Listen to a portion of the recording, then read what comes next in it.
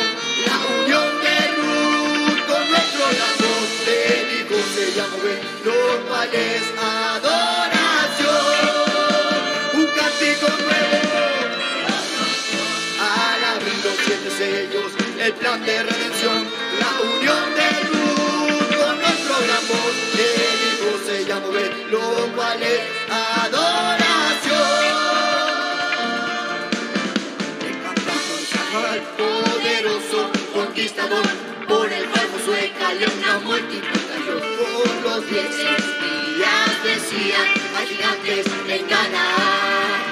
Pero Caleb le repetía, subamos a nuestra heredad. Le cantamos a él, Jehová Jireh, nuestro proveedor, el que proveyó un cordero en el tiempo de Abraham. Un hombre con siete letras como el mensajero de nuestra edad, no proveyó a él de ser no me apagues.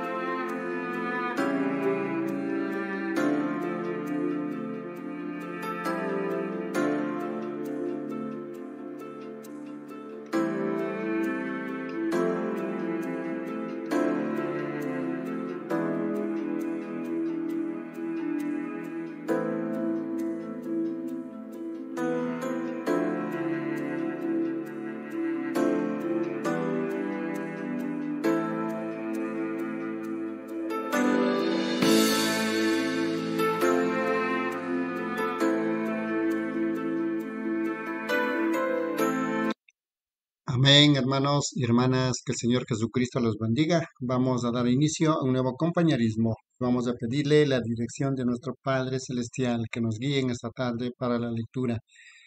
Amantísimo Padre Celestial, Señor Dios Todopoderoso, nos inclinamos ante ti una vez más, Señor, ante tu presencia, para tener un compañerismo contigo, Señor. Esto es la lectura de estos gloriosos mensajes que tú nos diste, oh Padre, en este último tiempo. Tenías guardado, Señor, un mensaje, pero estaba escondido para sabios y entendidos, y lo revelaste para pequeñitos que quieran aprender. Y eso fue Apocalipsis 17, el mensaje de la hora. En el tiempo y su sazón tú enviaste, Señor, un mensaje. En nuestro tiempo, Apocalipsis 17, sino que en los días de la voz del séptimo ángel, cuando él comience a tocar la trompeta, el misterio de Dios será consumado como así lo anunció a sus siervos los profetas. Oh Padre amado, profetas del Antiguo Testamento quisieron vivir este último tiempo, Señor, y tú nos has dado ese privilegio, Señor, de conocer y aceptar este mensaje, Señor. En esta tarde queremos continuar, oh Padre amado, si es tu voluntad, compañerismo, esto es la lectura de su glorioso mensaje que tú nos has entregado, Padre. Cumpliendo Apocalipsis 10, 8 al 11, Señor, donde tenemos que comer el libro, profetizar nuevamente para tribus, lenguas, naciones y reyes, oh Padre amado. Bendice grandemente, Señor, al que escucha, al que lee, Señor, porque dice bienaventurado el que escucha y lee, oh Padre amado. Entonces, en esta tarde queremos continuar con este compañerismo. Te lo pedimos, Señor, que nos unjas con tu Santo Espíritu, Padre, en el nombre del Señor Jesucristo. Amén, mis amados hermanos y hermanas. Vamos a continuar con la lectura de este mensaje, la quinta edad, la edad de Sardis, Mensaje predicado en Jeffersonville, Indiana, Estados Unidos, día 9 de diciembre del año 1960. Voy a continuar en los párrafos 85, pero para formar el cuadro regresamos a un párrafo anterior. En el 84 dice, y ustedes se preguntan por qué he peleado tan duro toda mi vida en contra de organizarse. Yo mismo no lo sabía pero era algo dentro de mí que clamaba. Yo no lo podía evitar. Yo me preguntaba, siempre me preguntaba, ¿por qué es que yo siempre estaba dándole duro a las mujeres de esa manera?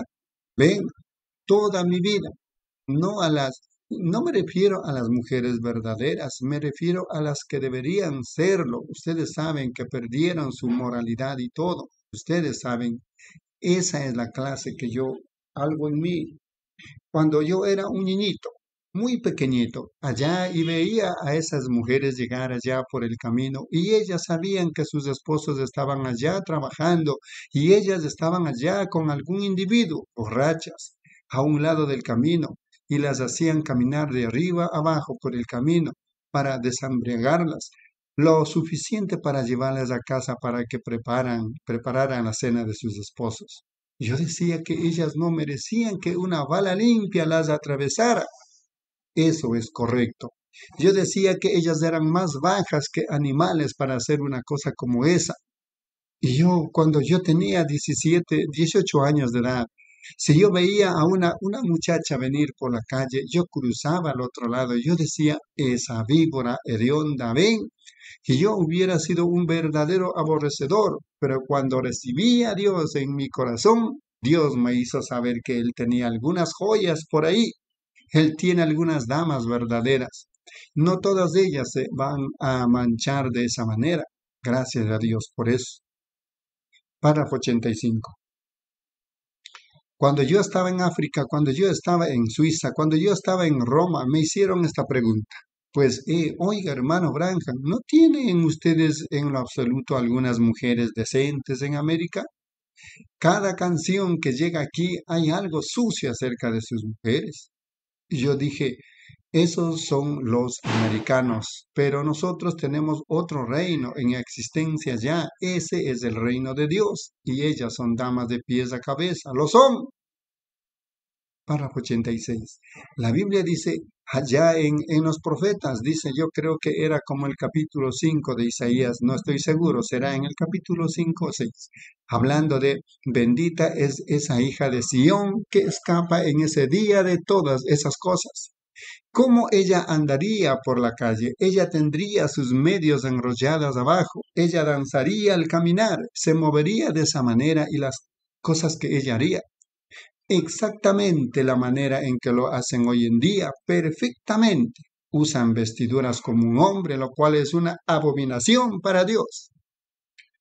Párrafo 87. Vi una sociedad religiosa hace rato entrando para tener alguna clase de fiestecita que ellos tienen casi cada noche y todas estas mujeres iban entrando en estos bombachos, pantalones anchos que llegan hasta la rodilla. O, o ¿cómo, ¿cómo les llaman a esas cosas? No pantalones cortos, son, sino los otros, sí, son empuja de tales. Pantalones para mujeres con, o muchachas que llegan un poco más abajo de la rodilla, usados originalmente para andar en bicicleta. O esas cosas que todas ellas en verdad necesitan que se les empuje un pedal. Hermano, esa es una tabla como así de ancha, eso es correcto. La cabeza viene y peatón, eso está en su pie y eso es exactamente lo que ellos necesitan. Eso es correcto. Pero, oh, usted dice, bueno, ahora yo pienso que es más decente que una mujer use eso que el de use una falda. Dios dijo, es una abominación delante de él que una mujer se ponga una vestidura. Y cuando una mujer se corta su cabello como un hombre, Dios quiere que una mujer se mire como una mujer, se vista como una mujer, se comporte como una mujer. Párrafo 88. Si él no quiere a un hombre con grandes patillas colgando así, como que un pato está sentado en la parte de atrás de su cabeza de esta manera. Él quiere que él se mire como un hombre. Sí, señor. O ellos se visten tan feminadamente al grado que casi no se sabe a qué sexo pertenecen. Es, es lamentable. Estos bikinis, todo lo que tenemos hoy en día. Con razón estamos viviendo en el tiempo del fin. Ya no queda nada más en este mundo, sino que Dios derrame su ira sobre él y lo queme. Eso es todo. Un justo y santo Dios no pudiera hacer otra cosa. Ellos han rechazado la sangre de Jesucristo. Ellos mismos se han dogmatizado. Ellos se han metido en una organización. Y el viejo, algún viejo Padre Santo con su, un, solterón con su cuello volteado al revés viene y les dice, mis hijos benditos. Eso no quiere decir más que si lo dijera una cerda.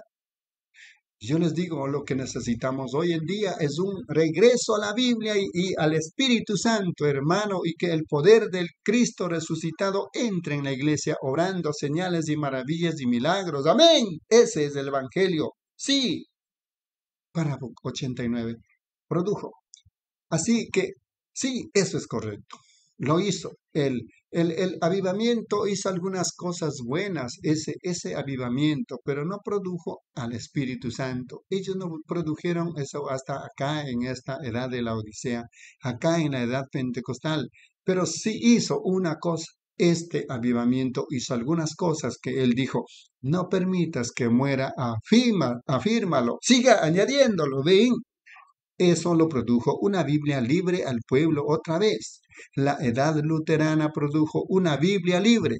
Ellos hicieron una imprenta y comenzaron a darle al mundo la Biblia. Dios bendiga a los luteranos por eso. Sí, Señor. Ellos pusieron la Biblia otra vez en las manos del laico. Anteriormente solo los sacerdotes la tenían. Ni siquiera tuvieron que mirarla, porque era lo que el Papa decía y él era el Dios. Así que lo que él decía, eso bastaba. Párrafo 90. Así que ahora el avivamiento luterano, lo que ellos querían para afirmar, ahora ustedes tienen la Biblia en sus manos. Ahora léanla, créanla, no la pongan en el estante y digan, bueno, nosotros tenemos una Biblia. No les va a hacer ningún bien que esté allí.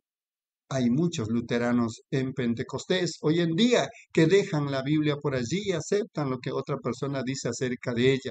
Hermano, Lea la escritura, lea la palabra, escudriña las escrituras, porque ellas son las que dan testimonio de mí, dijo Jesús. A vosotros os parece que en ellos tenéis la vida eterna. Eso es lo que hay que hacer. Lean la palabra.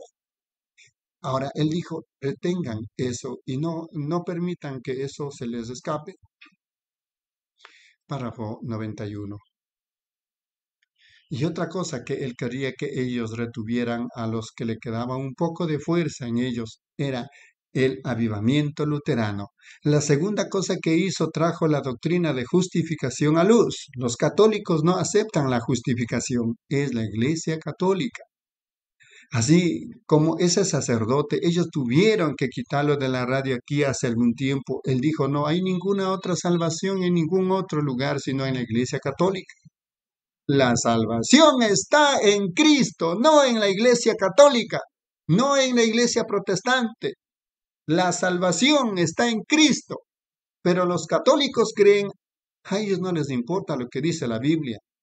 Es lo que la iglesia dice, ven. Y uno no puede hablar con ellos porque no hay manera, no hay nadie que pueda hablar con ellos. A ellos no les importa. Ellos tienen, ellos le hablan a uno de su catecismo, cualquier cosa como esa, pero cuando se trata de la Biblia, ellos, ellos simplemente desechan eso. Es lo que la iglesia dice. Párrafo 92. Jesús dijo en esta misma cosa. Jesús mismo dijo, si alguno quitare alguna cosa o le añadiere alguna cosa a ella, él quitará su parte del libro de la vida. Jesús dijo, que la palabra de todo hombre sea mentira y la mía sea la verdad. Los cielos y la tierra pasarán, pero mi palabra nunca pasará. ¿Es correcto eso? Oh, ahí lo tiene, hermano. Yo soy un creyente en la palabra de Dios. Eso es correcto. Y no solo esa palabra que Dios habla allí. Luego yo le pido al Padre Celestial que me dé el Espíritu Santo para que confirme esa palabra, para hacer que Cristo viva en mí. Así que yo sé que tengo vida eterna, no porque yo la merezca, sino por su gracia. Él me da a mí. Esa es la roca. Sobre esta roca edificaré mi iglesia, dijo él. 93. Muy bien. Justificación. Muy bien. La cosa era que después de que ellos ya habían producido algo que ellos no debían dejarla morir, eso era que ellos tenían la Biblia en sus manos otra vez. Los luteranos hicieron eso y otra cosa, ellos tenían la doctrina de justificación por fe. Eso es lo que Luterano, Lutero enseñó. Todos saben que esa fue su doctrina. Justi ¿No pueden ver qué perfecto es eso? Después vino Wesley con santificación. Luego vinieron los pentecostales con el bautismo del Espíritu Santo. Tan perfectamente, ahora yo, 94, tienes unas cuantas cosas, ahora reténlas y no la dejes morir. Si no retienes eso, vendré pronto como un ladrón y tú volverás a entrar a la denominación otra vez. Y eso es lo que hicieron. Exactamente, volvieron a entrar regresan otra vez a los nicolaitas porque volverás a salir como una denominación. Manténganse, sigan leyendo esa Biblia y conserven la justificación y sigan persistiendo. Pero hay un pequeño remanente que salió de allí, un pequeño remanente. Después del primero vino Lutero, y luego vino Zwingli, y después Calvino, y los siguientes y demás hasta llegar a Wesley pero hubo un pequeño remanente que salió de allí que enseñaba la santificación. Y de la santificación salió un pequeño remanente que siguió adelante y entró en el Espíritu Santo. Ven, ese pequeño remanente por todo el camino manteniendo eso, eso vivo muy bien. 95, pero en tercer lugar, trajeron con ellas tantas de las formas paganas de doctrina, con eso, tal como denominación, bautismo falso. Ahora, ellos salieron rociando y así por el estilo, y Padre, Hijo y Espíritu Santo. Trajeron el catecismo, verdaderamente tenían, verdaderamente cuadraban con el nombre, con la que dijo Jesús aquí, tienes nombre de que vives, pero estás muerto. Eso es correcto. Muy bien. 96, el párrafo. En cuarto lugar, es cierto que la reforma echó fuera muchas de sus reliquias pulidas y ritos y demás, pero falló en la iglesia y la restauración de producir la reforma. Falló en restaurar de nuevo la enseñanza del Evangelio completo con las señales que lo seguían. La iglesia luterana nunca lo tuvo. Nunca lo tuvieron y nunca lo tuvieron en la edad wesleyana, solo lo tuvieron al final de esta edad de la Odisea. Ahora, cuando entremos en eso, entraremos de nuevo en las escrituras y les mostraré exactamente cómo ellas lo prometieron. Ellos no tuvieron, no restauraron el avivamiento del Espíritu Santo. Párrafo 97. Ellos sí se apartaron de los ídolos. Y ellos se apartaron de los ídolos, eso es cierto. Ellos sacaron los ídolos de la iglesia.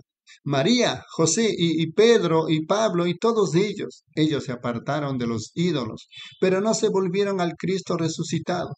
Lutero los apartó de los ídolos, pero entraron más como en una política o una o a una o a una denominación o a una organización para ellos mismos hacerse otra organización una imagen como la primera, y tratar de crecer más que ella por medio de la denominación.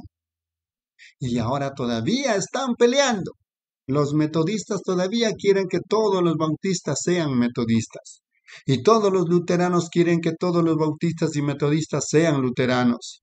Los pentecostales quieren, quieren que todos los bautistas, luteranos y todo lo demás sean pentecostales. Ven, solo sigue añadiéndolo a su denominación. Pero en primer lugar, eso no es el programa de Dios. El programa de Dios para la restauración era volver a traer aquello que fue desde el principio. 98. Miren, resucitar aquello. Si este libro se cae al suelo, ahora el tomar otro libro y ponerlo en su lugar no es restauración, resurrección.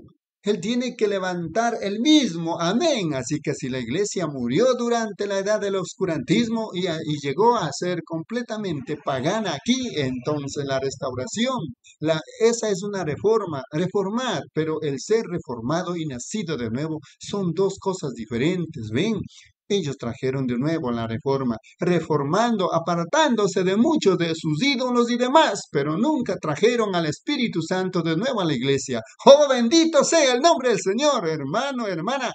Lo pueden ver. Nunca trajeron de nuevo al Espíritu Santo porque el que realmente trae la verdadera luz del Evangelio. Ahora reflexionan. El que trae la verdadera luz del Evangelio es el ángel de la iglesia aquí y ustedes van a hacer eso el domingo. Aleluya. Párrafo 99.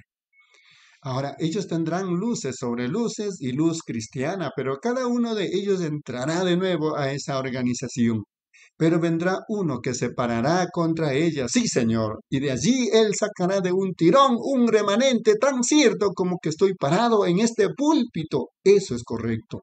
Y él irá directamente al principio, y yo tomaré las escrituras del Antiguo Testamento y del Nuevo Testamento y les probaré que él hará eso. El ángel de la iglesia de la Odisea, eso es correcto. Irá directamente al original y resucitará esta cosa aquí de nuevo. Y la resurrección vendrá en el día de esto aquí. Eso es correcto. Pero Lutero sacó de un tirón a la iglesia, la que escapó, la que escapó un paso, justificación, la que escapó, ella sacó un pie fuera del paganismo. Está bien, la siguiente vez sacará fuera dos pies. Eso es todo. Para Señor. Así que se fijaron en la Biblia que había, que había agua que salía de la parte de atrás del templo. Y él dijo que él vio agua hasta sus rodillas. Luego la siguiente, agua hasta su cintura. Y la siguiente vez subió más arriba de su cabeza. Pero cuando subió más arriba de su cabeza, él tenía que llegar a un punto en que él podía nadar. Ven, él tuvo que nadar. Así que estamos llegando a un punto que o, nademos o nos ahoguemos. Eso es todo. Una de dos los ahogará y los alejará completamente o los hará entrar.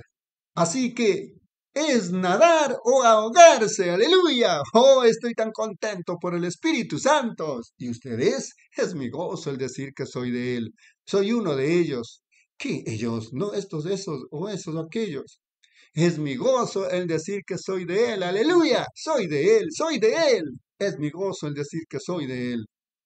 Párrafo 101. ¿No suena bien eso? Escuchen, estaban reunidos en el aposento alto orando en su nombre. Fueron eh, bautizados en el Espíritu Santo y vino poder para servir. Lo que Él hizo por aquellos, por aquel día, lo mismo hará por ti. Es mi gozo el decir que soy de Él. Oh, soy de Él, soy de Él. Es mi gozo el decir que soy de Él. Aleluya, soy de Él, soy de Él. Es mi gozo el decir que soy de Él. ¿Van ellos a seminarios? No, algunos de ellos ni siquiera pueden escribir sus propios nombres. Eso es correcto. Pedro no podía. La Biblia dice que era un hombre ignorante y del vulgo, él y Juan, pero ellos tuvieron que prestarles atención a ellos porque sabían que ellos habían estado con Jesús. Aunque no sea gente educada, ni tenga fama mundial, oh bendito sea Dios, tenga tal cosa y tal, han recibido su Pentecostés, bautizados en el nombre de Jesús, y están diciendo ahora por doquier su poder es aún igual. Es mi gozo el decir que soy de Él. Oh, soy de Él, soy de Él. Es mi gozo el decir que soy de Él. Soy de Él, soy de Él. Es mi gozo el decir que soy de Él. Párrafo 102. ¿No están contentos de eso? Tan contentos de ser uno de ellos. Yo prefiero ser uno de ellos que de cualquier otra cosa que yo conozca. Oh, yo prefiero ser uno de ellos que ser el presidente de los Estados Unidos, ser el rey del mundo. Yo, si el Señor Jesús llegara aquí y dijera, yo te volveré de nuevo a 20 años de edad y te haré un supervisor, un rey de todo el mundo y te daré 10 mil años de vida sobre esta tierra para que permanezcas de 20 años de edad. Nunca estarás un día enfermo una angustia, y todo será gozo y de todo, y el rey de toda la tierra para vivir diez mil años. ¿O prefieres ser uno de ellos y tener que esforzarte como lo estás haciendo? Yo diría, es mi gozo el decir que soy uno de ellos después de diez mil años. ¿Luego qué? Pero esto es eterno. ¿Cómo vino esto, hermano? Oh, esto vino a través de la sangre. Eso es correcto. Ha venido desde muy lejos y esto vino por medio de Dios, al haberse hecho carne y haber habitado entre nosotros. Párrafo 103. Prepárese, hermana, y Dios le bendiga después de este párrafo. 103. En un pesebre hace mucho yo sé que es verdad. Un bebé nació para salvar al hombre de sus pecados. Juan no vio en la ribera el cordero para siempre. Oh Cristo el crucificado del Calvario. Oh yo amo a ese hombre de Galilea, de Galilea porque él ha hecho tanto por mí. Él ha perdonado todos mis pecados, colocó el Espíritu Santo dentro de mí. Oh, yo amo, yo amo a ese hombre de Galilea. La mujer en el pozo, el todos sus pecados. Le dijo, Él es el mismo ayer, hoy y para siempre. Y como cinco esposos ella tuvo en ese tiempo. Le fue perdonado todo pecado y una paz profunda fue puesta dentro de ella. Ella clamó, vengan a ver a este hombre de Galilea. Oh, yo amo a ese hombre de Galilea, de Galilea, porque él ha hecho tanto por mí. Él ha perdonado todos mis pecados, colocó el Espíritu Santo dentro de mí. Oh, yo amo, yo amo a ese hombre de Galilea. Un publicano fue a orar allá en el templo un día. Él clamó, Oh Señor, sé misericordioso conmigo. Él fue perdonado de todo pecado y una paz profunda vino dentro de él. Él dijo, vengan a ver a este hombre de Galilea. Me gusta eso. A ustedes no. Al cojo lo hizo andar, al mudo le hizo hablar.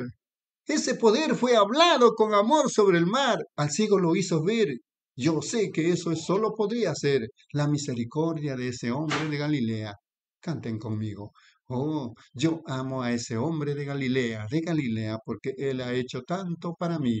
Él ha perdonado todos mis pecados, colocó el Espíritu Santo dentro de mí. Oh, yo amo, yo amo a ese hombre de Galilea.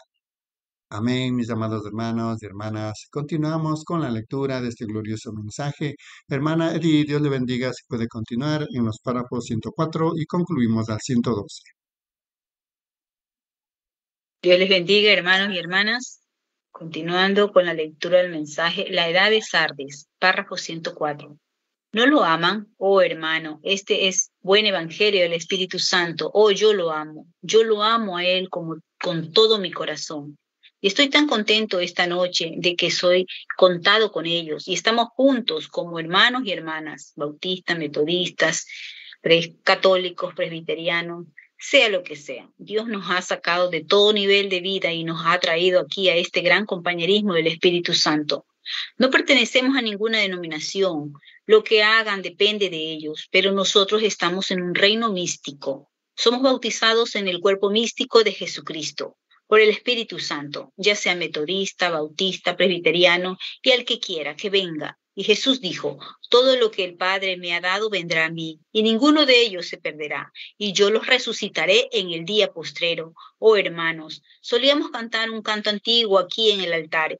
Yo sé, yo no sé si lo podemos cantar o no.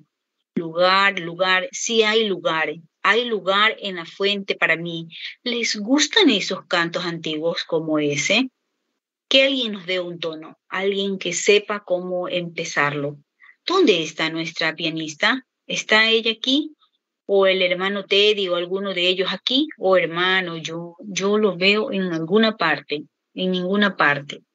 Lugar, lugar, sí, sí hay lugar. Lugar, lugar, sí, sí hay lugar. Hay lugar en la fuente para ti. 105. ¿Les gustan esos cantos antiguos? Y a mí también me gusta este, allá en la cruz donde murió mi Salvador, allá donde clamé por limpieza del pecado. Oh, allá a mi corazón fue aplicada la sangre. Gloria a su nombre, gloria a su nombre, su precioso nombre. Oh, gloria. Cerremos ahora nuestros ojos y cantémoslo. Oh, allá a mi corazón fue aplicada la sangre. Gloria a su nombre.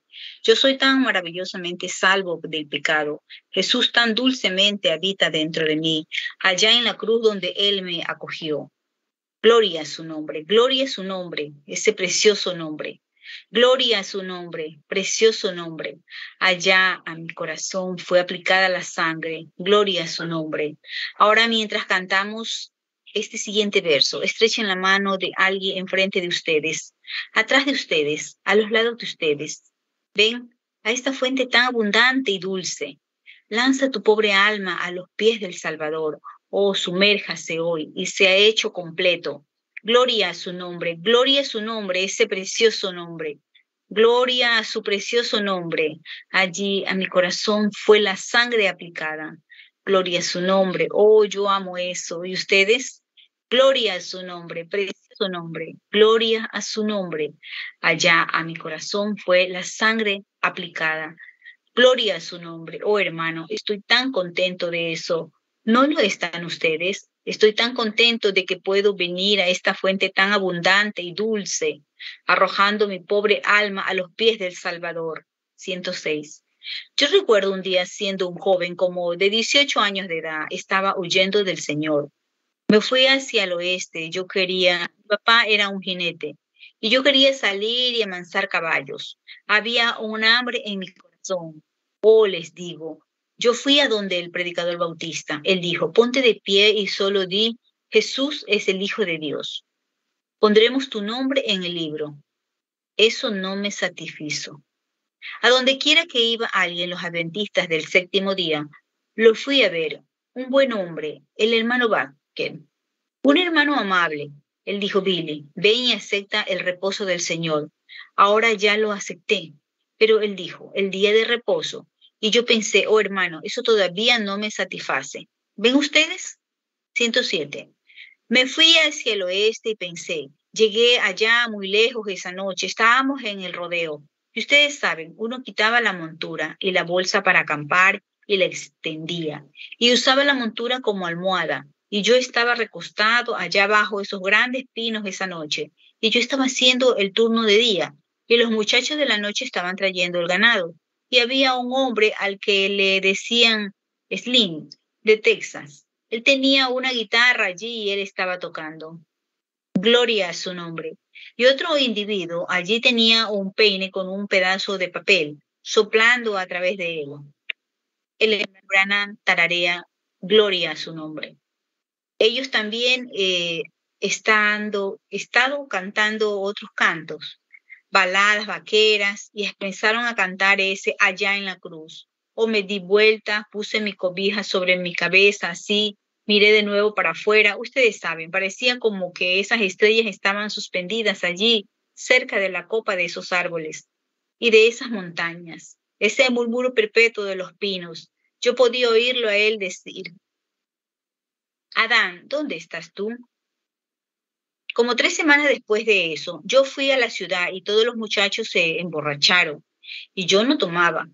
Y yo los ponía que tenía que llevar a todos a casa.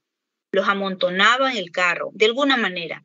Ellos iban allá y se dispersaban el uno al otro a los dedos de los pies y todo lo demás.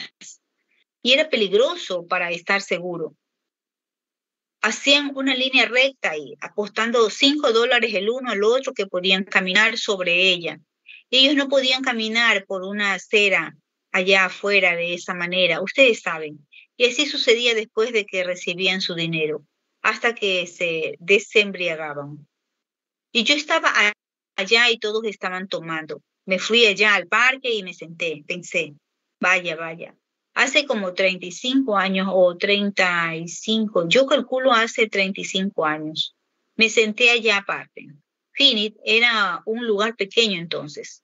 Venían de allá de Wickenburg. Me senté aquí y una pequeña muchacha hispana pasó moviéndose por allí. Y yo estaba sentado allí con este gran sombrero empujado hacia atrás. Ella pasó por ahí y dejó caer este pequeño pañuelo. Ustedes saben, yo dije, oiga, se le cayó su pañuelo. Yo no estaba interesada. 109. Oí un poco de ruido allá en la calle y fui para allá. Y allí estaba un muchacho convertido de uno de esos establos que hay allá. Tenía marcas por toda su cara, las lágrimas corriendo por sus mejillas allí, tocando una guitarra, cantando Gloria a su nombre. Oh hermano, las lágrimas corriendo por sus mejillas. Él paró y dijo, hermano, usted no sabe lo que eso es hasta que usted ha recibido a este maravilloso Cristo.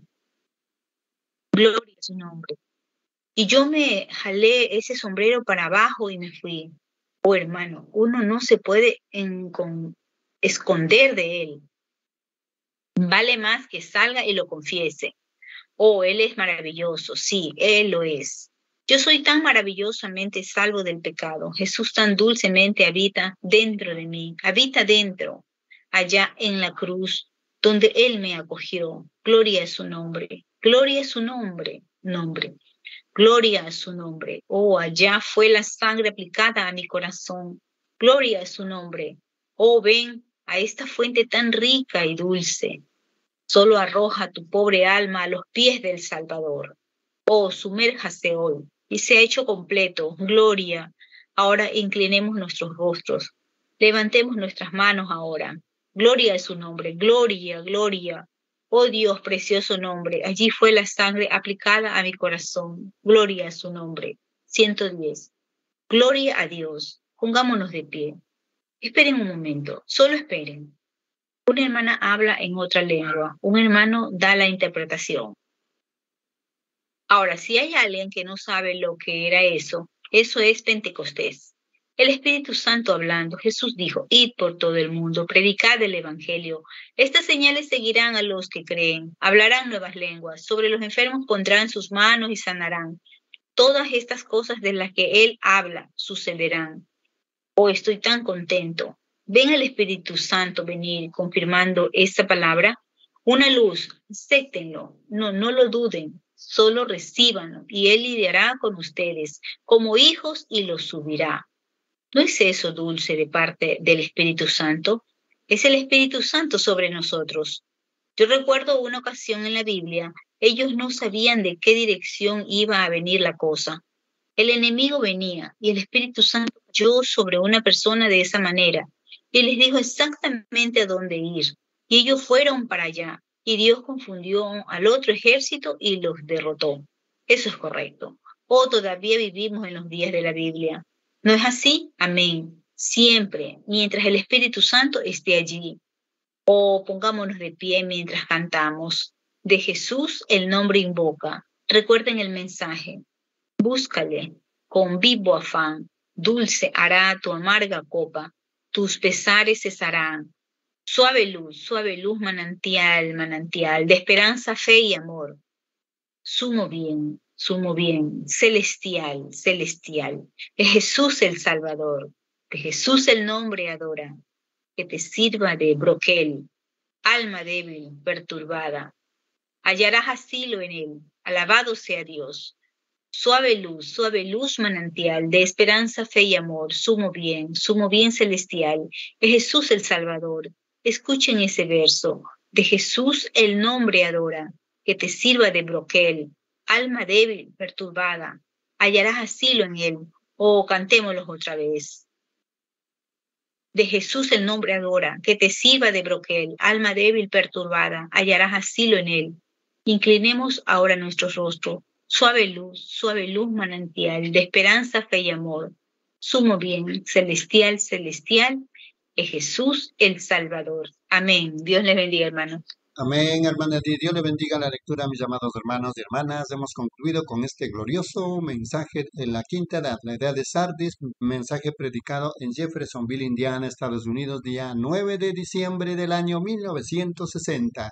Que quede plasmado en cada uno de vuestros corazones, mis amados hermanos y hermanas.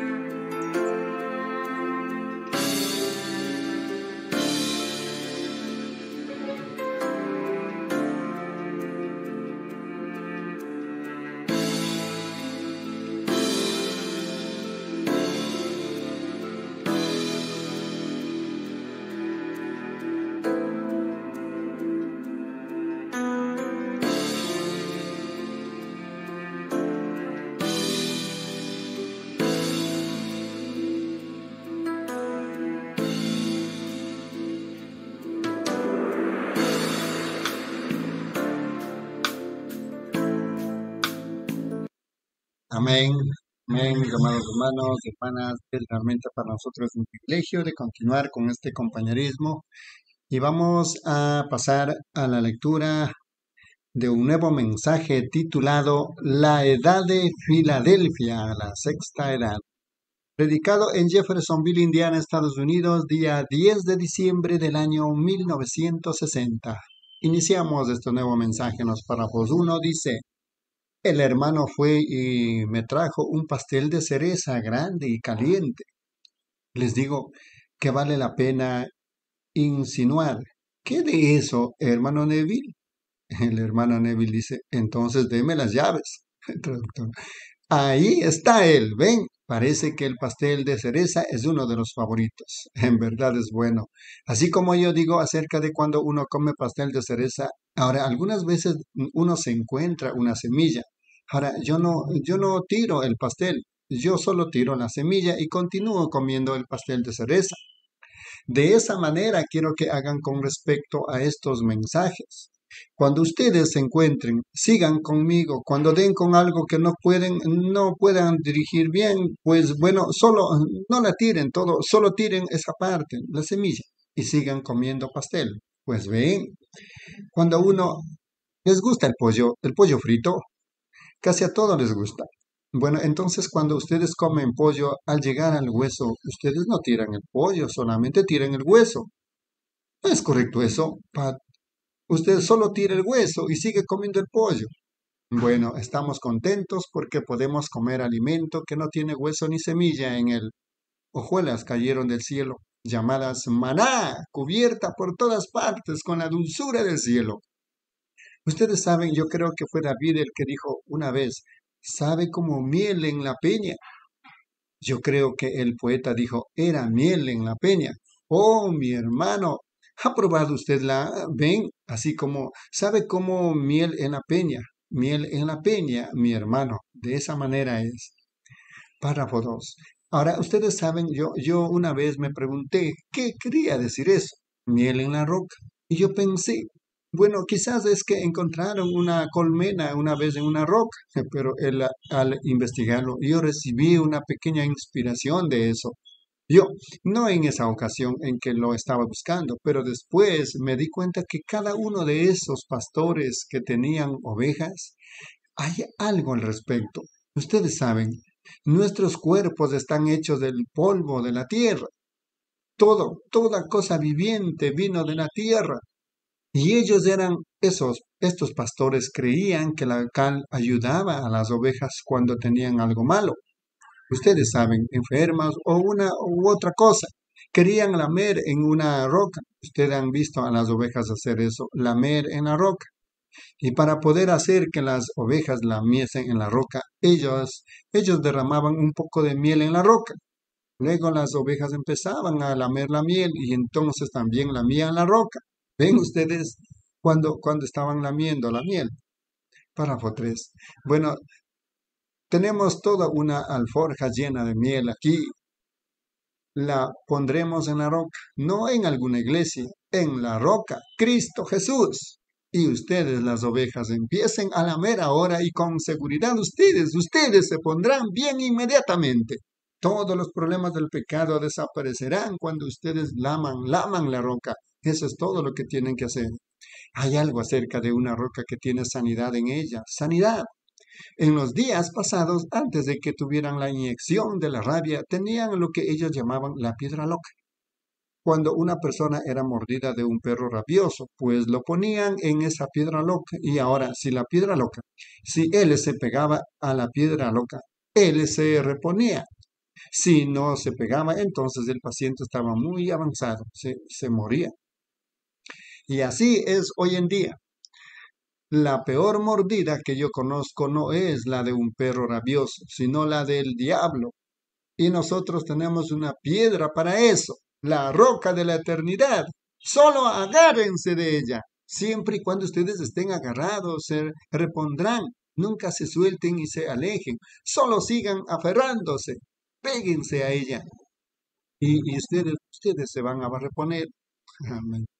Párrafo 4. Ahora, antes de que entremos a nuestra lección de la noche y nos queremos poner de pie por un momento, si podemos para orar. Usted no es la hermana de Robert Bunkerdy, ¿verdad? Me parece que fue ayer que ella me llamó y estaba hablando acerca de que ella quería oración. Y yo, yo no sabía. Usted se parece algo a ella. Yo no sabía si usted era ella o no. Yo lo vi a usted aquí anoche. Párrafo 5. Ahora, ¿cuántos quieren ser recordados ante Dios o quieren o quieren que Dios lo recuerde, mejor dicho? Solo nuestro Padre Celestial, como, como nuestro director de cantos allá en Chicago cantaba, acuérdate de mí cuando las lágrimas están cayendo, Señor, recuérdame ahora, en la hora de la muerte, en la, durante toda la vida queremos que tú nos recuerdes, Señor. Recuérdanos no como pecadores, como lo que somos, sino queremos que tú nos recuerdes como cristianos declarados, que hemos aceptado a Jesucristo, tu Hijo, nuestro Salvador, por nuestros, para que sea nuestra propiciación por nuestros pecados que nosotros sabemos que esa es la única oportunidad que tenemos el único camino, la única vía de salvación. No es por ninguna iglesia o por ningún otro dispositivo mecánico o alguna organización, sino por medio de Jesucristo y solo Él. Así que nos acercamos en su nombre esta noche pidiendo que tú nos bendigas mientras nos congregamos para estudiar tu palabra y para saber lo que tú tienes para nosotros esta noche.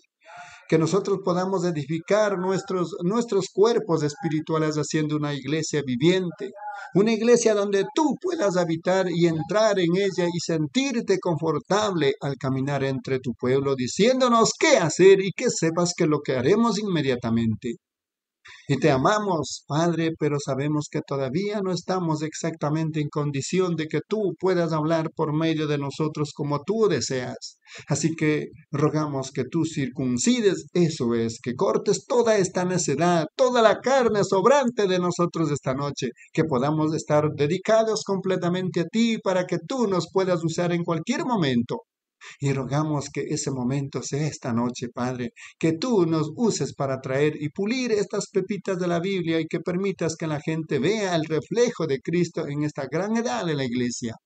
Lo pedimos en el nombre de Jesús. Amén. Párrafo 6. Ahora hemos tenido las edades de la iglesia, llegando hasta la edad de la iglesia de esta noche, que es la sexta edad de la iglesia. Mañana por la noche terminamos las edades de la iglesia, tomando una cada noche, de lunes al domingo. Y esta noche, la edad de la iglesia se llama la edad de la iglesia de Filadelfia. Y la estrella o el, el mensajero, el ángel mensajero a esa edad de la iglesia, creemos solemnemente con todo nuestro corazón que es Juan Wesley. La edad de la iglesia comenzó en 1750 cuando se terminó la edad de la iglesia luterana y duró hasta alrededor de 1900. Alrededor de 1906 después de Cristo, la edad de la iglesia wesleyana y luego entró de esa a la de la Odisea. Y ahora la edad es la edad, edad de la iglesia, eh, de amor fraternal, la gran edad misionera, y la edad de la puerta abierta y la recompensa fue una, una columna, ser hecho una columna y la revelación de tres nombres, el nombre de Dios, el nombre de la ciudad de Dios y el nombre nuevo de Dios es la revelación que fue dada a esta iglesia en esta edad y ahora la iglesia. Esta edad comenzó en Apocalipsis 3, 7 hasta el versículo 13 e incluyendo el versículo 13, Apocalipsis 3, 7 hasta el 13. Párrafo 7.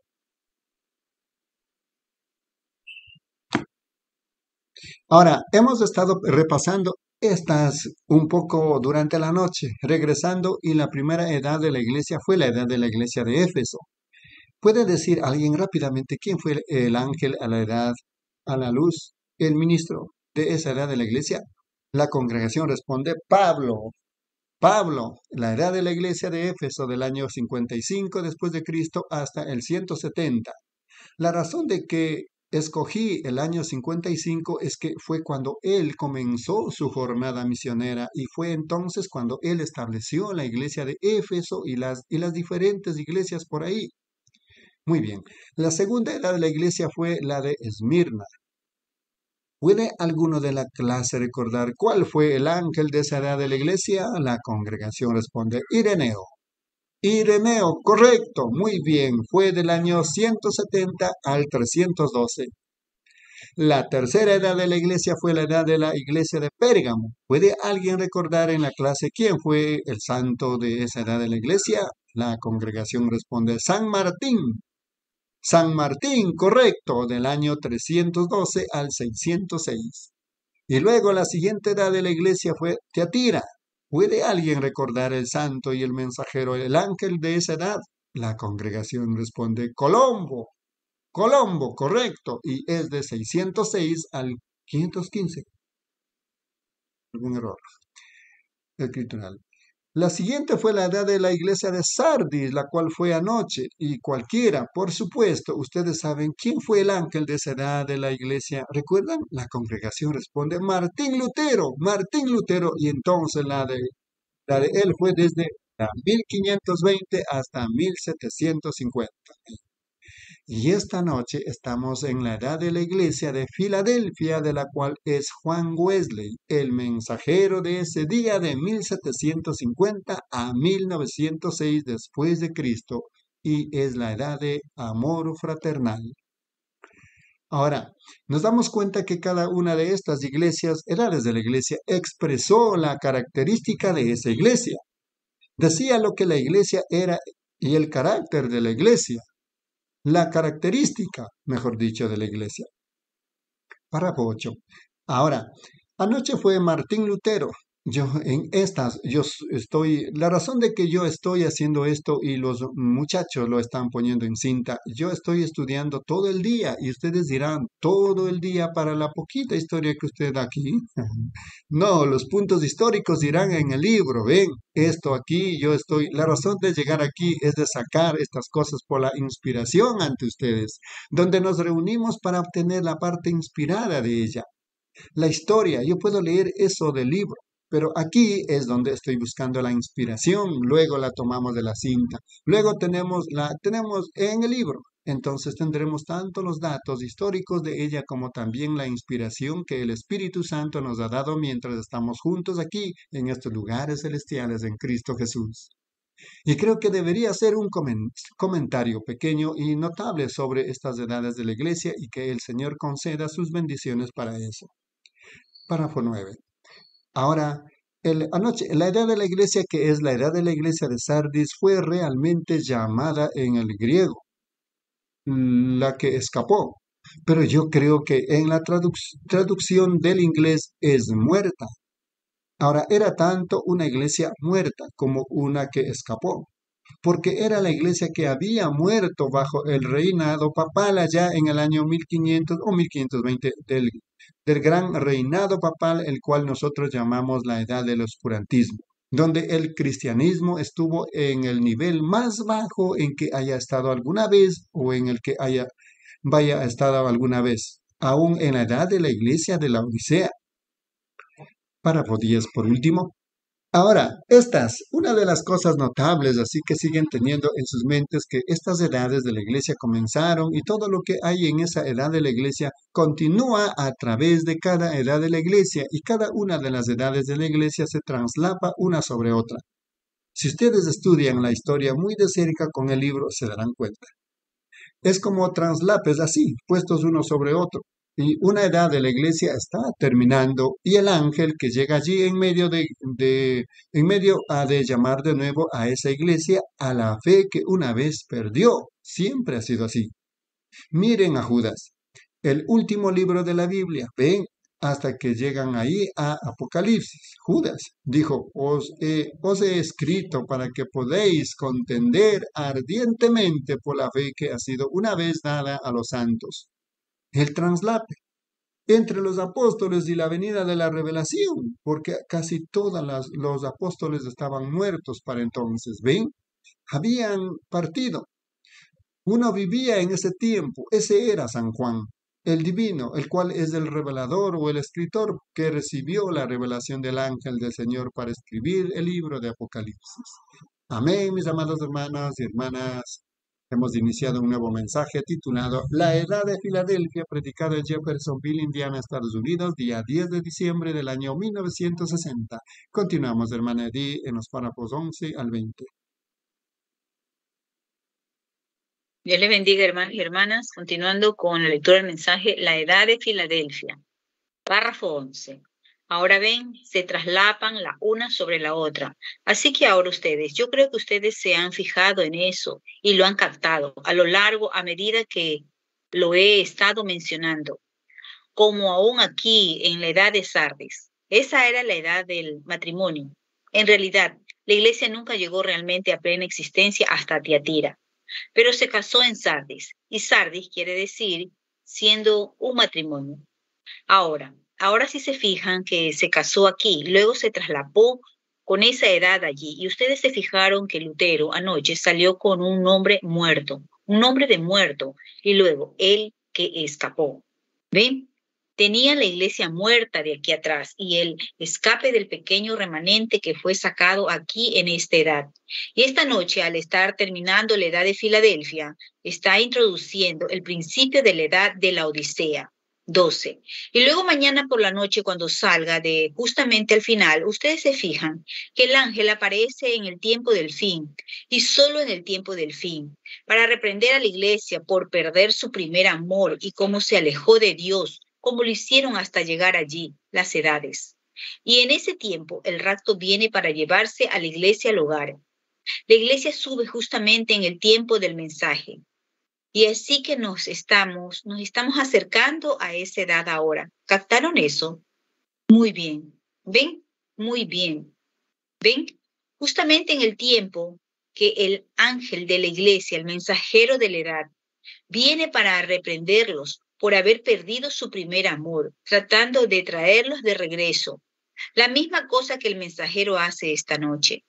El ángel mensajero regresa para reprenderlos, de esa manera en cada edad, por lo que ellos habían hecho. Así que eso hace un traslape en cada una de las edades de la iglesia, que se traslapen la una sobre la otra de esa manera, como al subir un escalón. Está puesto en traslapes así, subiendo. 13. Ahora, solo tengo aquí un poquito de historia sobre el mensajero para esta noche, de Juan Wesley.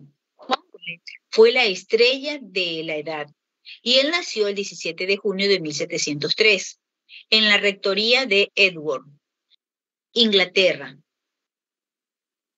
Y él era el quinceavo niño de 19 hijos, Juan y Susana Wesley, el padre y la madre. El padre, un predicador, la madre, santa consagrada.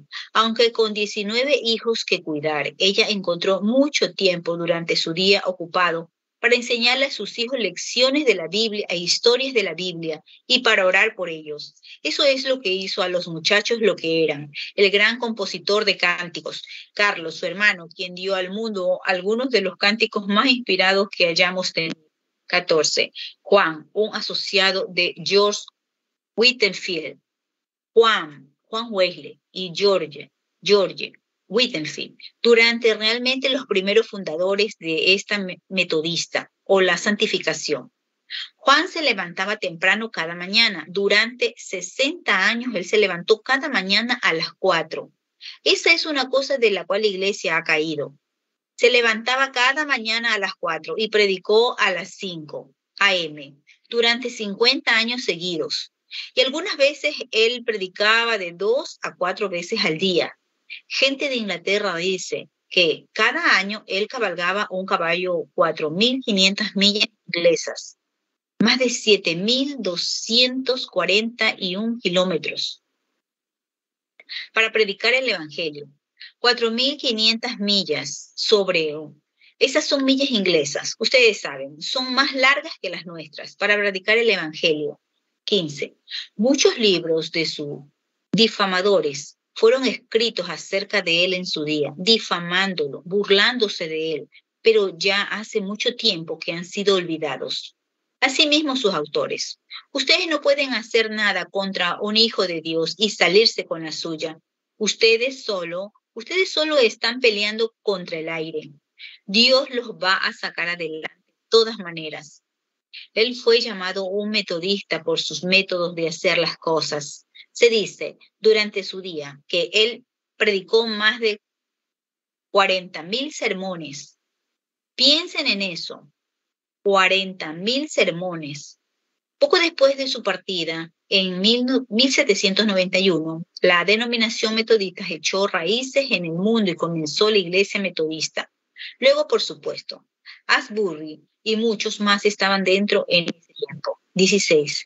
Ahora, si nos fijamos en el saludo para esta iglesia, ya que vamos a comenzar ahora en el séptimo versículo, el mensajero de Filadelfia, la iglesia verdadera, en la iglesia verdadera dentro de la iglesia que profesaba serlo.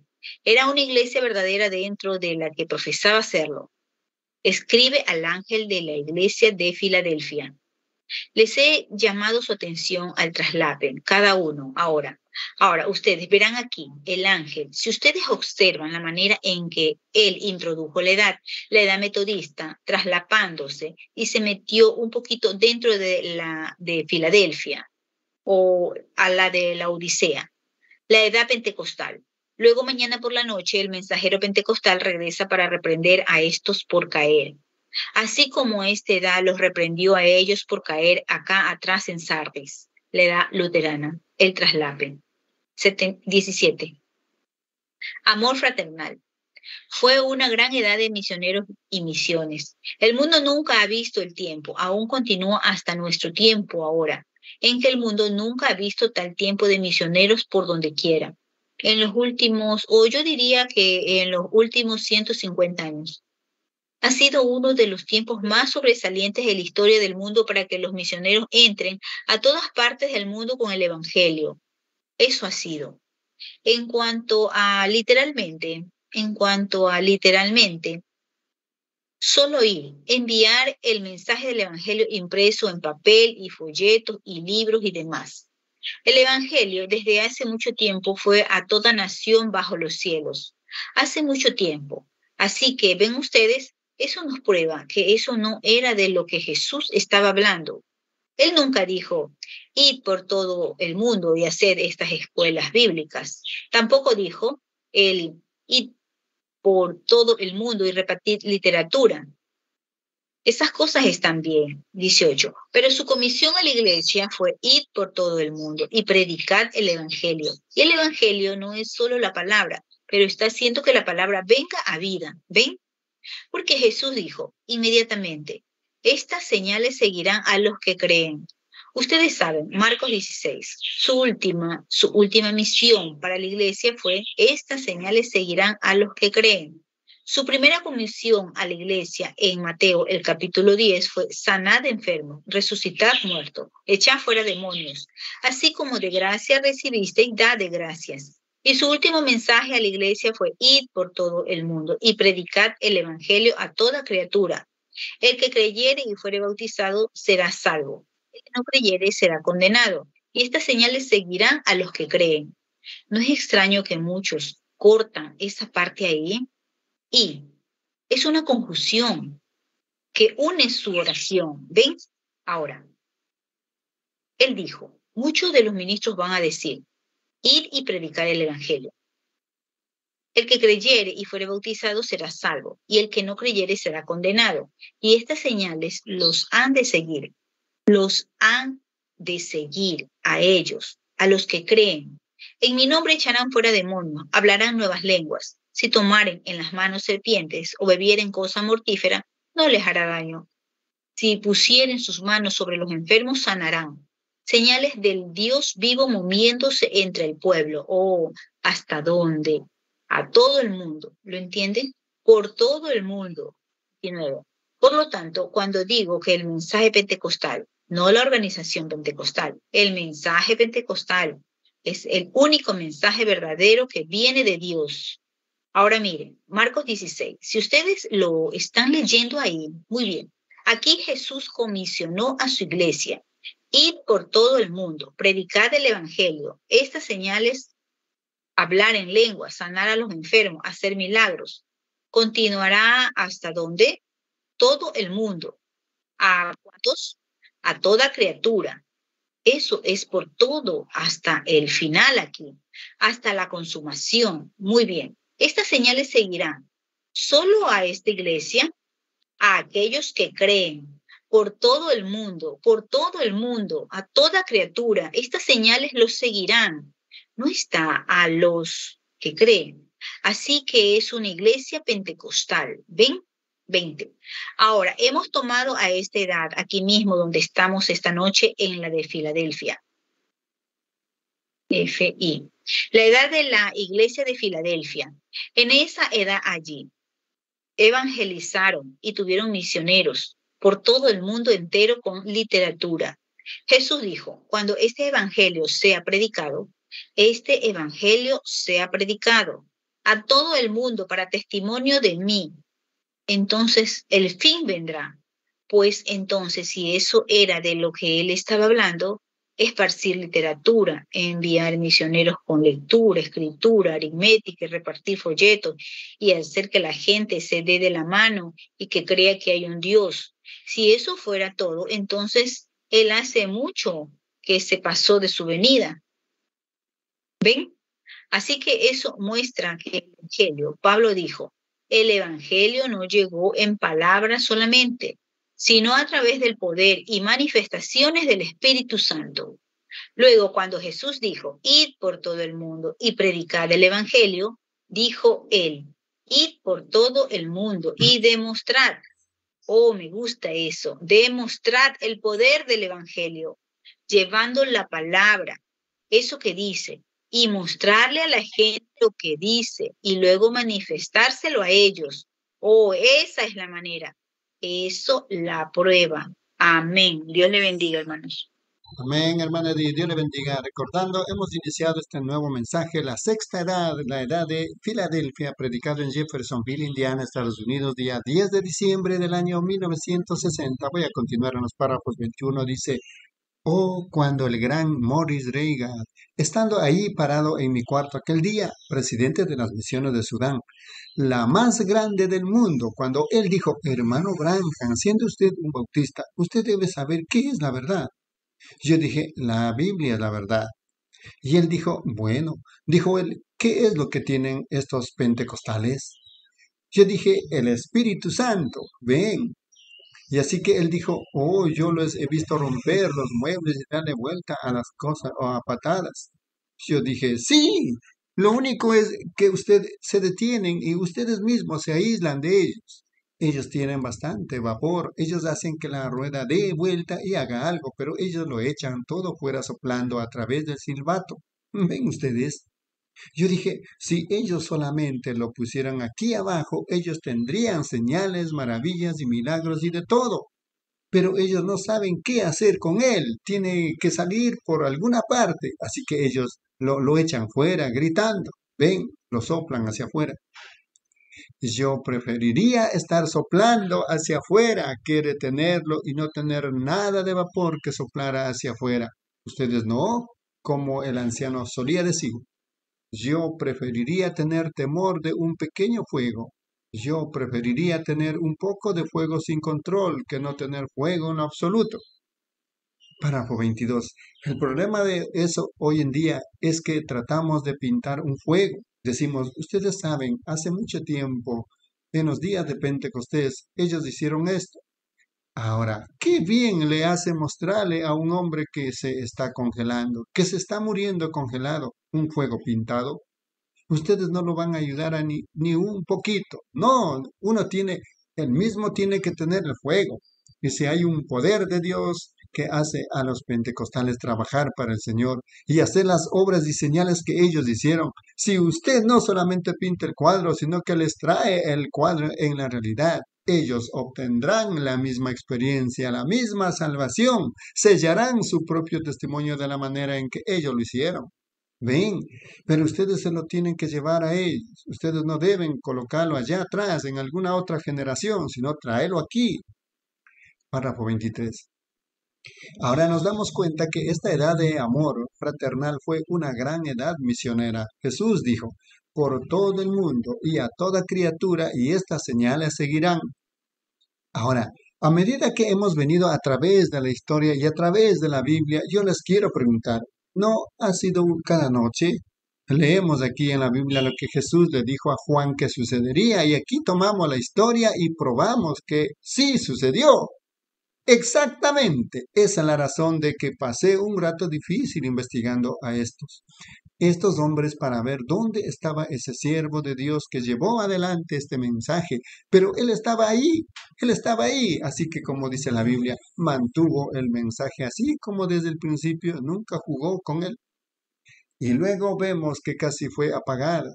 Y él llamó esa misma edad una edad muerta, oscura y demás y luego salió solo un poco de luz, luego tuvo un poco más fuerza y luego entró en la verdadera experiencia pentecostal otra vez en el tiempo del fin y luego la novia fue arrebatada y se fue y la tribulación entró de nuevo. Muy bien, la gran tribulación la cual está acercándose ante todo el mundo. Párrafo 24. Ahora la gran edad misionera, amor fraternal, la edad de misión. Permítanme solo mencionarles algunos de los grandes hombres cuyos nombres acabo de escribir aquí. John Wesley, Jorge Wesley, Wilfrid. Él estaba como en 1739. Charles G. Finney, Edwin Modi y William Carey el gran misionero que fue a India en 1773, David Livingstone en Sudáfrica. Ven, todos esos, algunos de esos grandes hombres. Solo tengo bastantes nombres de ellos aquí, grandes hombres que vivieron en ese amor fraternal, que el hombre negro, el hombre blanco, el hombre moreno, el hombre amarillo, todas las paredes fueron derribadas y estos hombres salieron a los campos misioneros. Amor fraternal estrechando una mano a todas las naciones en todas partes y se abrieron para que ellos pudieran ir. Otra edad de la puerta abierta, porque ellos no podían. Antes de eso, ellos no lo podrían haber hecho. El Papa y, el Papado de Roma y demás lo tenían todo tan cerrado al grado que ellos no podían ir. Pero en esa edad las puertas estaban abiertas, porque él dijo que era una edad de la puerta abierta. Párrafo 25. Ellos abrieron muchas puertas durante esa edad. La puerta del Evangelio, la puerta a los campos misioneros, la, la, puerta para regresar a Cristo y todo fue abierto durante esa edad. Y ustedes pueden ver lo que ellos hicieron. Sus hermanos hicieron una gran obra de ella. Y desde Juan Wesley, la estrella después de la edad de Sardis, después de que él vino despertándolos de la edad de Sardis, durante los últimos 150 años, grandes misioneros, como ningún otro tiempo en, en edad antes, han cubierto toda la tierra. Piensen en eso. Toda nación bajo el cielo ha oído la palabra se terminó hace muchos, muchos, muchos años, ven, pero no el Evangelio, solo la palabra. La letra mata, más el Espíritu vivifica. Ven. Párrafo 26. Cuando yo me paré en Sudáfrica, allá en esa plataforma aquel día, y vi que allá había millares de millares sentados allí, maometanos, y conocí a un misionero maometano. Y este misionero maometano dijo, oh, por esa alma preciosa, Ahora, ese hombre había estado allá por años y años y había convertido a un maometano a Cristo. Porque los maometanos surgieron de los medos persas. Sus leyes no cambian ni tampoco se alteran. Cuando ellos son maometanos, son maometanos para siempre. Así que ahí ellos tenían esa alma de la cual este hermano estaba hablando, parado ahí en el patio de Pretoria, la capital de Sudáfrica. Ese está en el, en, en el estado libre el estado libre, el estado de Orange, o allá en el Transvaal.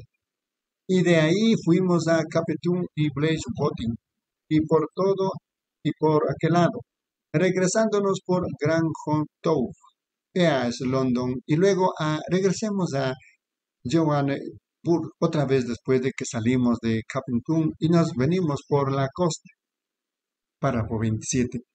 Muy bien, el último pueblo que pasamos fue Durban, donde reunimos a la mayoría de los nativos. Habían de 150 mil a 200 mil nativos sentados allá afuera. maometanos nativos. Tuvimos, ellos tuvieron que pasar semanas atravesando el, el hidrópono, mucho más grande que Churchill Downs, el segundo más grande en el mundo. Londres tiene el más grande, Sudáfrica y Chulisdon.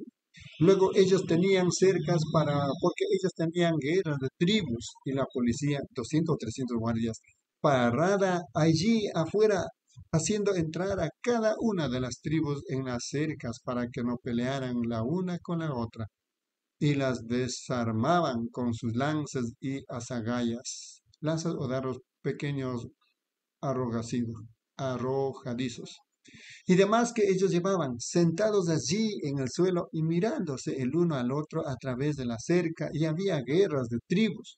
Sus jefes eran cargados por alguien en un abanico grande, abanicándose así, y a la reina, la reina de Rhodesia. Vino en 27 carros cargados a trenes o vagones llenos de gente Rhodesia para asistir a la reunión. Y vino un, un tren especial Párrafo 28. El Señor estaba haciendo grandes cosas, grandes maravillas y señales. ¿Y qué es lo que encontramos? A Sidney Smith, el alcalde de Durban, al salir ese día, yo dije, ¿qué es ese hombre, esa pequeña etiqueta alrededor de su cuello? Un hombre de color, como nosotros le llamaríamos aquí en la raza negra. Y para predicarles es que estaba ah, yo ahí, y muchos de ellos no usaban ropa en lo absoluto, nada, hombres o mujeres. Así que él, él tenía un ídolo en su brazo, él tenía una pequeña etiqueta en su cuello. Yo dije, ¿para qué son esas, esas etiquetas en sus cuellos? Dijo, ellos son cristianos. Yo dije, ¿cristianos? Con un, con un ídolo en su mano. Él dijo, bueno, ahora hermano Branham, yo, él es Songhai, Dijo, yo puedo hablar su idioma. Dijo, iremos manejando para allá y ustedes hable con él, llámelo como usted quiera, solo háblele como si usted le fuera a hacer algunas preguntas. Yo le pregunto y luego le digo a usted que él dijo. Párrafo 29. Así que yo dije, ¿cómo está usted, Tomás? Yo le llamé Tomás porque pensé que ese era un nombre que le quedaba bien. Y yo dije, yo dije, ¿cómo me lo va Tomás? Y él me miró y yo dije, ¿es usted cristiano?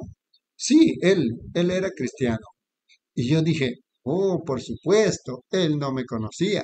Él nunca había, ninguno de ellos nos había visto todavía. Así que yo dije, ¿qué está haciendo usted con ese ídolo? Él, o su, su padre lo, cargó. Ven, era, era Dios. Ven. Yo dije, su, su padre lo cargaba. Dije, yo, pues, esa, esa no es razón para que usted lo cargue. Usted es un cristiano, usted no lo debe cargar. Él dijo, bueno, un día el león persiguió a su padre y él encendió un pequeño fuego y dijo en la oración que el curandero le habían dicho sobre este ídolo y el ídolo huyentó al león. Los animales matan a muchos de ellos allá y él, párrafo 30 por último. Y yo dije, mire, no, no fue la oración que el curandero le dijo, fue el fuego el que ahuyentó al león. Y yo dije, el león le tiene miedo al fuego. Y yo dije, como cristiano, Tomás, tú no deberías de cargar eso, tú no deberías tener nada que ver con eso. Y él dijo, oh, bueno, él dijo, sí, amo. Esa es la fuerza invisible, nuestro Dios que no vemos, amoyar. Quiere decir algo, una fuerza como el viento. Dijo, sí, si amoyá falla, este no fallará. Así que él cargaba los dos. Si uno no me funciona, el otro sí. Ahora, esa es la fuerza del cristianismo. Ajá, sí, oh hermano. Amén, mis amados hermanos y hermanas. Continuamos con la edad sexta de eh, la edad de Filadelfia. Predicado en Jeffersonville, Indiana, Estados Unidos, día 10 de diciembre del año 1960. Hermana Eddie, por favor, en los párrafos 31 al 40.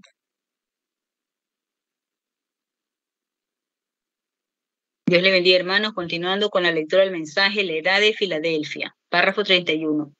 Pero luego, esa tarde, cuando el Espíritu Santo descendió en la reunión, en el hipódromo, y comenzó a revelar los secretos del corazón, después de que yo había tomado la escritura, como una, una hora, cuando en realidad me tomaba 15 minutos, porque ellos tenían 15 intérpretes diferentes por los cuales pasaba.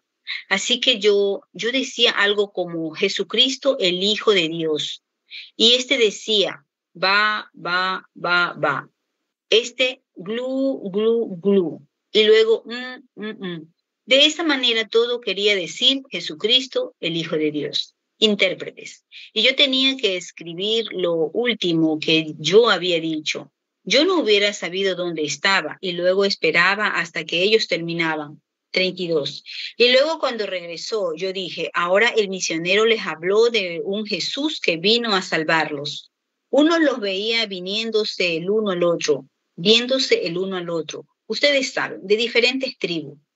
Y de arriba abajo de esa manera. Yo dije, el misionero les dijo eso, pero ese misionero, al leer este libro, vieron ahí donde él era un gran sanador y dijo que él viviría a través de la edad en la gente hasta que él viniera otra vez.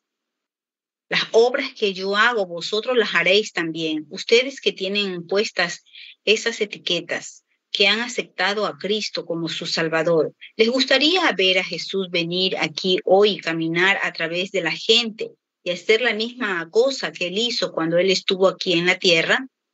Oh, todos ellos, seguro. Ellos querían ver eso. ¿Ven ustedes? Ellos querían eso. Yo dije, entonces, si Él lo hace, nos usa aquí para hacer la misma cosa que Él hizo cuando Él estaba aquí en la tierra. ¿Creen, ¿Creerán ustedes su palabra? Oh, seguro. ¿Ven ustedes? Los maometanos sentados allí. 33. La primera, segunda persona en la plataforma era una mujer maometana. El Espíritu Santo hablando, le dije yo mismo a la mujer, dije, ahora, usted sabe que yo no la conozco, yo ni siquiera puedo hablar su idioma. Y ella admitió eso. Ella tenía el punto rojo aquí en medio de sus ojos, que quería decir que ella era de sangre pura y maometana. Así que yo dije, bueno, ahora en cuanto a sanarla, yo no la puedo sanar. Pero yo dije, ¿entendió usted lo que yo dije esta tarde, el mensaje? Y ella, ella le contestó al intérprete maometano que ella era una india. Eso es lo que ella era. Ella dijo, sí, ella entendió. Ella había leído el Nuevo Testamento. Oh, sí, ajá. ¿Ven? Ellos creen en Dios también. Ellos son la simiente de Abraham también. ¿Ven? Pero entonces dijo que ella creía en Dios, pero ella creía que Mahoma era su profeta y nosotros creemos que Jesús era su hijo. ¿Ven? Así que ella dijo, oh, ella, ella creía a Dios. 34. Y yo dije, entonces si usted conoce el Antiguo Testamento y sabe lo que Dios fue en los hombres del pasado, en las edades pasadas, entonces Jesús, el que llamamos el Cristo, habría de ser el Dios profeta. Sí, ellos lo mataron. ¿Usted cree que no lo hicieron? Porque usted dijo que él se montó en un caballo blanco y se fue.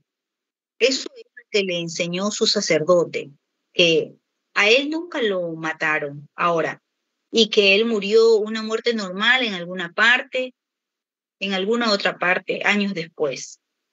Yo dije, ¿usted cree eso? Pero este Jesús, según el Nuevo Testamento, él murió y se levantó otra vez y envió otra vez su espíritu sobre su iglesia. Ahora, uno los tiene atrapados, ¿ven? Eso es exactamente sobre lo cual ese maometano retó a Billy Graham. ¿Ven? La misma cosa, el mismo principio. Yo dije, ahora sí, Mahoma nunca les hizo promesas, pero Jesús nos hizo una promesa, que las mismas obras que él hizo nosotros la haríamos también. Ahora, recuerdan que él dijo en San Juan 5:19, Nada hago hasta que el Padre me lo muestra. Yo dije, ahora, si Jesús viniera y me mostrara cuál es su problema o por qué está usted aquí, le dije cuáles fueron sus resultados, cuál fue su pasado y cuál va a ser su futuro. Y si él le puede decir cuál fue su futuro, fue su pasado, seguramente usted creerá cuál va a ser el futuro. Ella dijo, eso es cierto, ¿ven? Por medio del intérprete. Y yo dije, muy bien, que él lo haga. 35. Y todos los maometanos solo se levantaban observando, ustedes saben. Y cuando el Espíritu Santo dijo, su esposo es un hombre bajo de estatura, corpulento, con un bigote negro. Usted estuvo con un doctor hace como tres días. Dijo, usted tiene dos niños. examen femenino. Él dijo que usted tiene un quiste en la matriz. Ella miró hacia abajo, inclinó su cabeza. Ella dijo, eso es verdad. Y yo dije, ahora, si usted leyó el Nuevo Testamento, ¿es eso como Jesucristo que le dijo a la mujer en el pozo? Eso es verdad. Y yo dije, pues, ¿por qué vino a mí como cristiana? ¿Por qué no fue a su profeta maometano? Ella dijo, yo pienso que usted me puede ayudar. Y yo dije, yo no le puedo ayudar, pero si usted acepta a este Jesús está aquí ahora, que conoce su vida y sabe todo acerca de usted, Él le ayudará. Ella dijo, yo acepto a Jesús como mi Salvador. Eso lo hizo. Eso fue todo. Diez mil maometanos vinieron a Cristo esa tarde, ¿ven? Como 30 años en el campo misionero y eso convirtió a uno por medio de literaturas, donde en un lapso de cinco minutos, diez mil vinieron a ser manifestado el Evangelio. 36. Dios nunca nos dijo que edificáramos iglesia, nunca nos dijo que hiciéramos escuelas. Ella es también, los hospitales y demás. Dios sabe que los necesitamos. Es su programa, pero la comisión de la iglesia es de predicar el Evangelio. Pero pasamos folletos, literaturas de Asbury, este buen lugarcito acá arriba, el cual Dios bendiga a esa gente ese colegio metodista aquí en Wilmore, Kentucky. Es uno de los mejores lugarcitos espirituales en el mundo, supongo, en este tiempo. Ellos son gente buena, 37. Y yo venía, se me olvida él, era Rhodesia, pero no sé el nombre del pueblo. Billy, ¿puedes recordarlo? Billy Paul dice Salisbury. Salisbury, eso es correcto. New Salisbury. Él es mi memoria. New Salisbury, Rhodesia, Salisbury, desde 1982. Harare. Es capital de Zimbabue. Antes, Rhodesia del Sur. Y venía saliendo de Rhodesia y yo vi un pasaporte americano cuando estábamos abordando el avión, un muchacho y tres muchachas. Y yo dije, Caminé hacia ellos y dije, hola. Yo dije, veo que tienen pasaporte americano. Él dijo, ¿usted habla inglés? Yo dije, sí. Dije, yo, yo soy americano. Él dijo, bueno, eso está. Yo dije, ¿están viajando? Él dijo, no, nosotros somos misioneros. Yo dije, oh, qué bien. Yo dije, en verdad estoy contento de poder conocerlos. Y yo dije, ¿de dónde son? ¿De qué iglesia o están con una organización o solo son libres?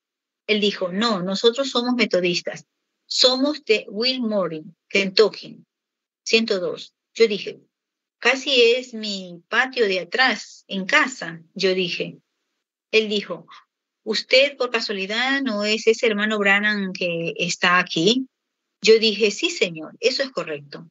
Y eso, eso lo cayó ahí mismo. Él no quería decir nada más y yo vi la actitud que tomó. Miró hacia esas muchachas. Se miraron el uno al otro así. Yo dije, un momento, hijo. Él no era nada más que un muchacho. Y yo dije, ¿y las muchachas? Y yo dije, me gustaría hablar por un momento con ustedes sobre los principios como cristianos. Todos lo somos y estamos aquí por la misma gran causa, yo les quiero preguntar a ustedes, tres muchachas, y a usted, joven, ¿pueden ustedes en el nombre del Señor Jesús, ustedes dicen que han estado aquí años, ¿pueden ustedes señalar un alma que ustedes hayan ganado para el Señor? ¿Un alma? Ellos no lo podían hacer, ni una sola alma. Yo dije, yo no quiero lastimar sus sentimientos en ninguna manera. Y yo dije, yo aprecio lo que ustedes están haciendo, pero ustedes, muchachas, deberían estar en casa ayudándoles a su mamá con los platos. Eso es exactamente correcto. Ustedes no tienen ningún negocio aquí. Eso es exacto. 38. Y nadie tiene ningún negocio yendo a los campos a menos que ellos hayan recibido el Espíritu Santo y estén predicando el poder con demostraciones, porque esa es la única cosa que moverá a esa gente. Y miren qué sublevaciones tienen ustedes ahora y demás es porque el Evangelio verdadero no ha sido predicado a ellos, ha sido dado a ellos en forma de palabra. Bueno, ¿Ven qué es eso? Esta es la continuación de la, de la que escapó, de la edad de Lutero, donde le dio al mundo la imprenta libre. Eso es correcto. O la Biblia libre, 39. Ahora, ahora la edad, la gran edad, ahora vamos a comenzar ahora. Creo que estamos en la... Ese fue el saludo. El versículo 7. Escribe a la Filadelfia. Esto dice el santo, el verdadero, el que tiene las llaves de David, el que abre y ninguno cierra, y cierra y ninguno abre.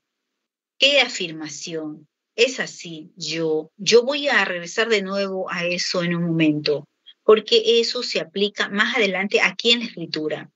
Yo conozco tus obras. He aquí he puesto delante de ti una puerta abierta, la cual nadie puede cerrar, porque aunque tienes poca fuerza, has guardado mi palabra y no has negado mi nombre.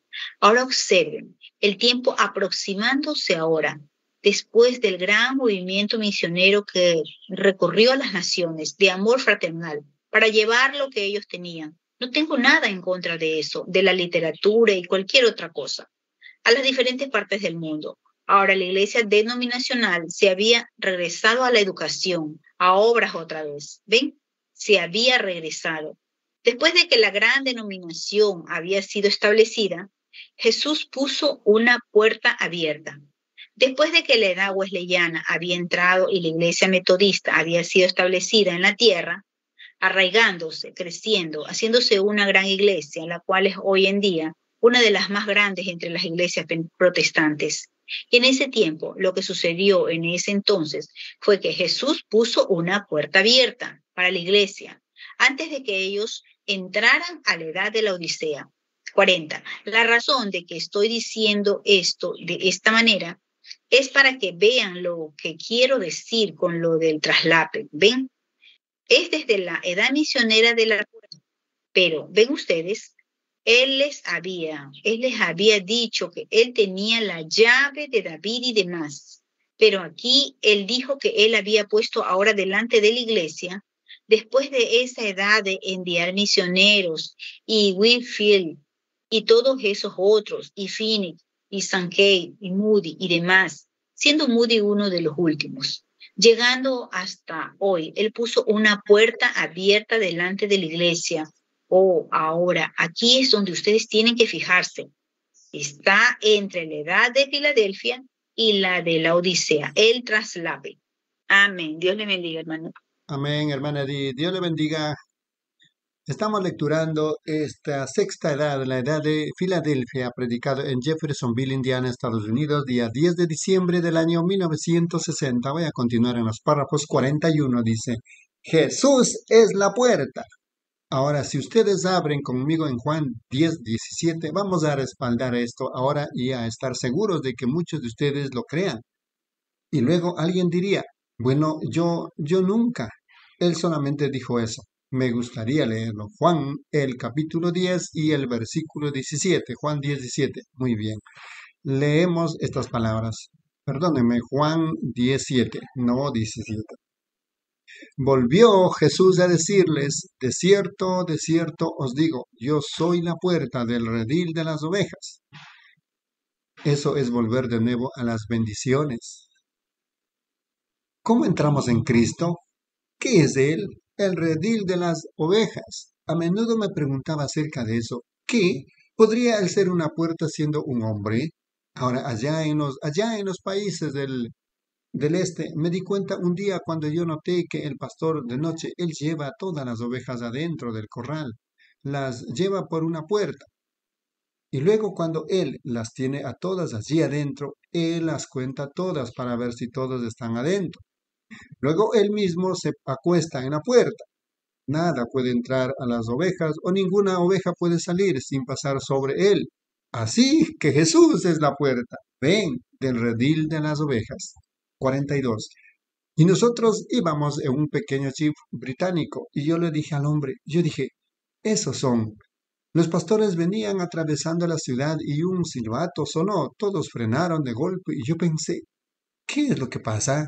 Y era un pastor que iba atravesando el pueblo con sus ovejas. Ahora, allá en el este no es como aquí. Ellos ponen todas sus mercancías afuera, afuera a un lado de casa en los mercados. Y hay manzanas y peras y toda clase de frutas y uvas acomodadas hermosamente, acomodadas sobre un cajón de esta manera que llega hasta abajo. Y cada uno de los vendedores se para allí y trata de jalarlo, pero adentro para que compre alguna de sus frutas y cosas. 43. Bueno, este pastor empezó a caminar por esa calle principal. Y yo dije, hermano, aquí es donde comenzará el alboroto. Yo me pondré de pie para observar esto. Y el hermano que estaba conmigo dijo, usted se sorprenderá, hermano Branham. Observé. Todo paró. El pastor caminó hacia adelante sin poner atención, cada oveja siguiéndole exactamente, siguiéndolo. Si él hacía un pequeño movimiento así y doblaba cada la oveja atrás de él, hacía un pequeño movimiento. La seguía, lo seguía, la siguiente lo seguía hasta el final y daban la vuelta. Oh, de esa manera seguimos al pastor. Eso es correcto. Iba por el centro de esa calle para conseguir algo en el otro extremo. Y esas ovejas siguiéndolo así como un perro. Ellas miraban y miraban esas eh, cosas ricas, pero ellas siguieron al pastor. Oh, me gusta eso. Ven, yo dije, oh, hermano, yo quisiera poder hablar este idioma. Yo predicaría ahorita mismo. Ahí lo tiene. Sí, ella, ella no había volteado ni a derecha ni a izquierda, sino que se mantuvo directamente detrás del pastor. 44. Eso es lo que la iglesia ha hecho por todo el camino, quedarse detrás del pastor, el Espíritu Santo que nos guía a la vida eterna, no ir volteándose porque esta es una gran iglesia florida y esta otra tiene tal y tal cantidad de doctores y tal y tal por el estilo, pero quedándose detrás del pastor. Para donde quiera que va el pastor, las ovejas lo siguen. Mis ovejas conocen mi voz, mas al extraño no seguirán. Eso es correcto. Él, ese pastor conoce gruñidos y todo lo demás que hace que esas ovejas obedezcan. Luego cuando salimos afuera de la ciudad era una cosa asombrosa. Yo vi un, un, campo allá, unos hombres recostados. Ellos tenían asnos y vacas y cerdos y ovejas y cabras y todo allá. Y yo dije, bueno, ¿qué son esos hombres allá? Él dijo, pastores. Y yo dije, ¿un pastor que cuida asnos? Y él dijo, sí, señor. Pues yo dije, yo, yo pensaba que un pastor solo se refería a ovejas. Él dijo, no, pastor es uno que cuida ganado, ganadero, y allá en su país les llaman vaqueros y cosas por el estilo. Y yo dije, oh, entiendo, un pastor es uno que cuida ganado. Sí, él cuida la manada. Eso es correcto. Él dijo, lo extraño es que en la noche donde usted es sorprendente siendo un ministro, yo lo podría decir algo. Él dijo, cuando la noche llega, es verdad que Él pastorea a cada uno de ellos, los guía alrededor y les ayuda y ve que ellos tengan buenas cosas durante el día. Pero cuando llega la noche, las, todas las, las mulas y los asnos y los, los camellos y lo que sea que Él tiene son dejados allá en el campo. Pero Él junta las ovejas y los lleva al corral. 45. Oh, dije yo, Señor, hagas lo que hagas, hazme una oveja. ¿Sí? Porque cuando venga la noche yo quiero entrar en el, redil, de las ovejas, perdón, entrar por la puerta, venir por la puerta, aquí en Juan 17, 7, o él dijo, yo soy 17, 7, mejor dicho, él dijo, yo soy la puerta del redil de las ovejas. Todos los que antes de mí vinieron, ladrones son y salteadores, pero no lo oyeron las ovejas. Yo soy la puerta, el que por mí entrare será salvo, y entrará y saldrá y hallará pastos. Ahora, yo he puesto una puerta abierta delante de esta iglesia entre la edad de Filadelfia y la edad de la Odisea. Oh, lo entienden ahora. Y tienen sus gorras para pensar muy bien puestas. Ahora, escuchen, esto es bueno. Se los digo, es miel en la roca. Solo estamos sacando las pepitas y dándoles brillo. Párrafo 46. Yo soy la puerta del redil de las ovejas. ¿Qué es esa puerta que fue puesta ahora? Vamos a retroceder a nuestra mente. Y desde esa gran edad misionera de los metodistas que recorrió el país en el mensaje de santificación, Lutero a través de justificación, Wesley vino con el mensaje de santificación y al final de la edad metodista, al final, cuando eso se arraigó y comenzó a hacerse una gran organización y cuando cualquier iglesia, ahora escuchen, eso es fuerte, pero quiero que alguien me muestre en cualquier parte a través de un escudriñamiento de la historia. Cualquier iglesia que Dios haya levantado surgió a la manera pentecostal sin ninguna organización y tan pronto como se organizó, murió y nunca se levantó otra vez. Oh, el número de miembros continuó, pero ellos nunca tuvieron un avivamiento. El avivamiento de Lutero nunca se levantó, y ni tampoco el avivamiento de los metodistas se levantó, y tampoco se va a levantar el avivamiento pentecostal. No, Señor, ellos lo organizaron, lo cual Dios dijo en las edades de la iglesia que Él aborrece esa cosa, la doctrina de los nicolaitas. 47. Ahora, recuerden, no estamos hablando contra nadie. Hay gente buena que está esparcida. Las ovejas de Dios están en todos esos lugares. Eso es verdad. Eso es correcto metodistas, bautistas, lo que sea, son pueblo de Dios y han nacido de, nuevo del Espíritu de Dios. Ellos son pueblo de Dios, pero las organizaciones los han apiñado y llevan cartas de metodistas a bautista a campebelita y demás, al grado que ellos, ellos gastaron las cartas llevándolos de lugar en lugar. 48. Muy bien. Como el Señor dijo ahora al final de esa edad, yo soy la puerta del redil de las ovejas. Ahora, ¿qué puerta fue abierta concerniente a Jesús juntamente en medio de estas dos edades?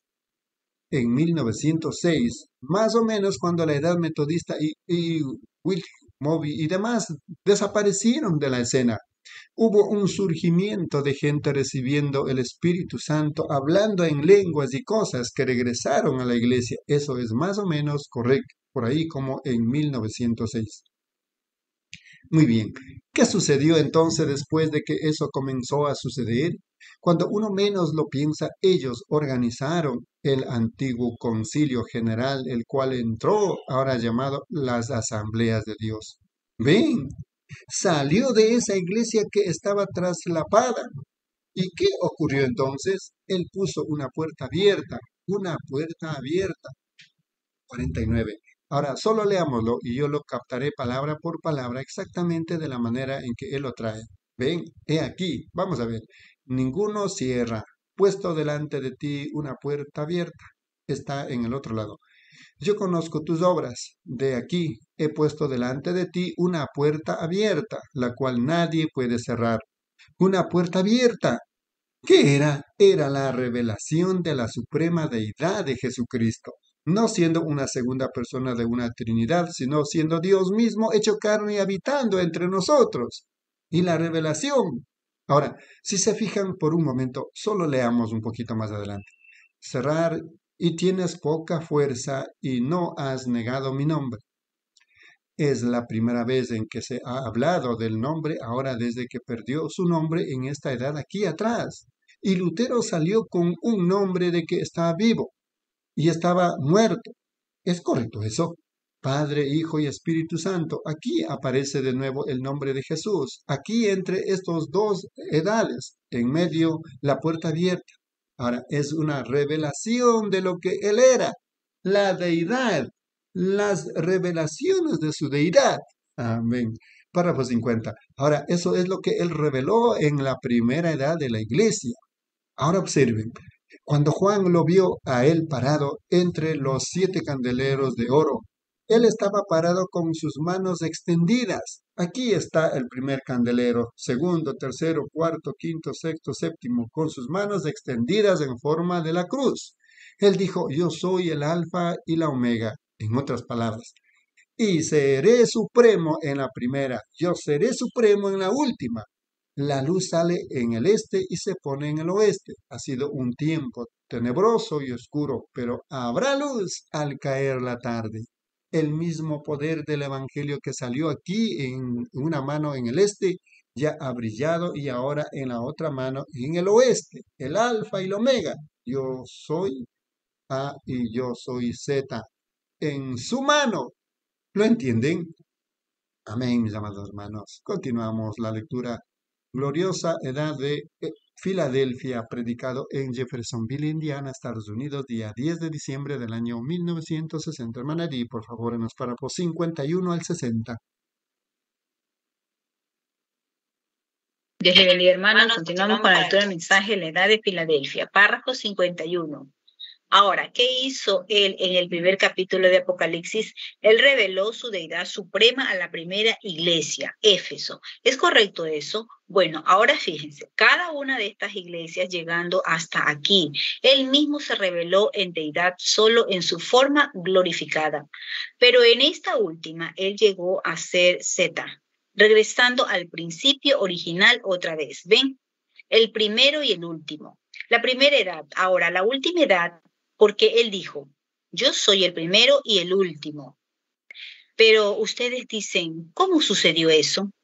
¿Qué hombre produjo eso? Era una revelación. Muchos de ustedes aquí la han recibido porque toda su, voy a decir algo ahora, miren, toda su iglesia está edificada sobre revelaciones divinas de él mismo. ¿Es correcto eso? Si ustedes no creen eso, abramos en Mateo 16, 18. Ustedes verán en un momento que toda la revelación está edificada sobre él mismo. Toda su iglesia está edificada sobre las revelaciones de él mismo. Ahora, comencemos aquí en el, comencemos, digamos, como en el versículo 14. Entonces ellos dijeron, unos Juan el Bautista. La cosa era que Jesús dijo en la región de Cesarea de Filipo, preguntó a sus discípulos diciendo, ¿quién dicen los hombres? ¿Es el Hijo del Hombre?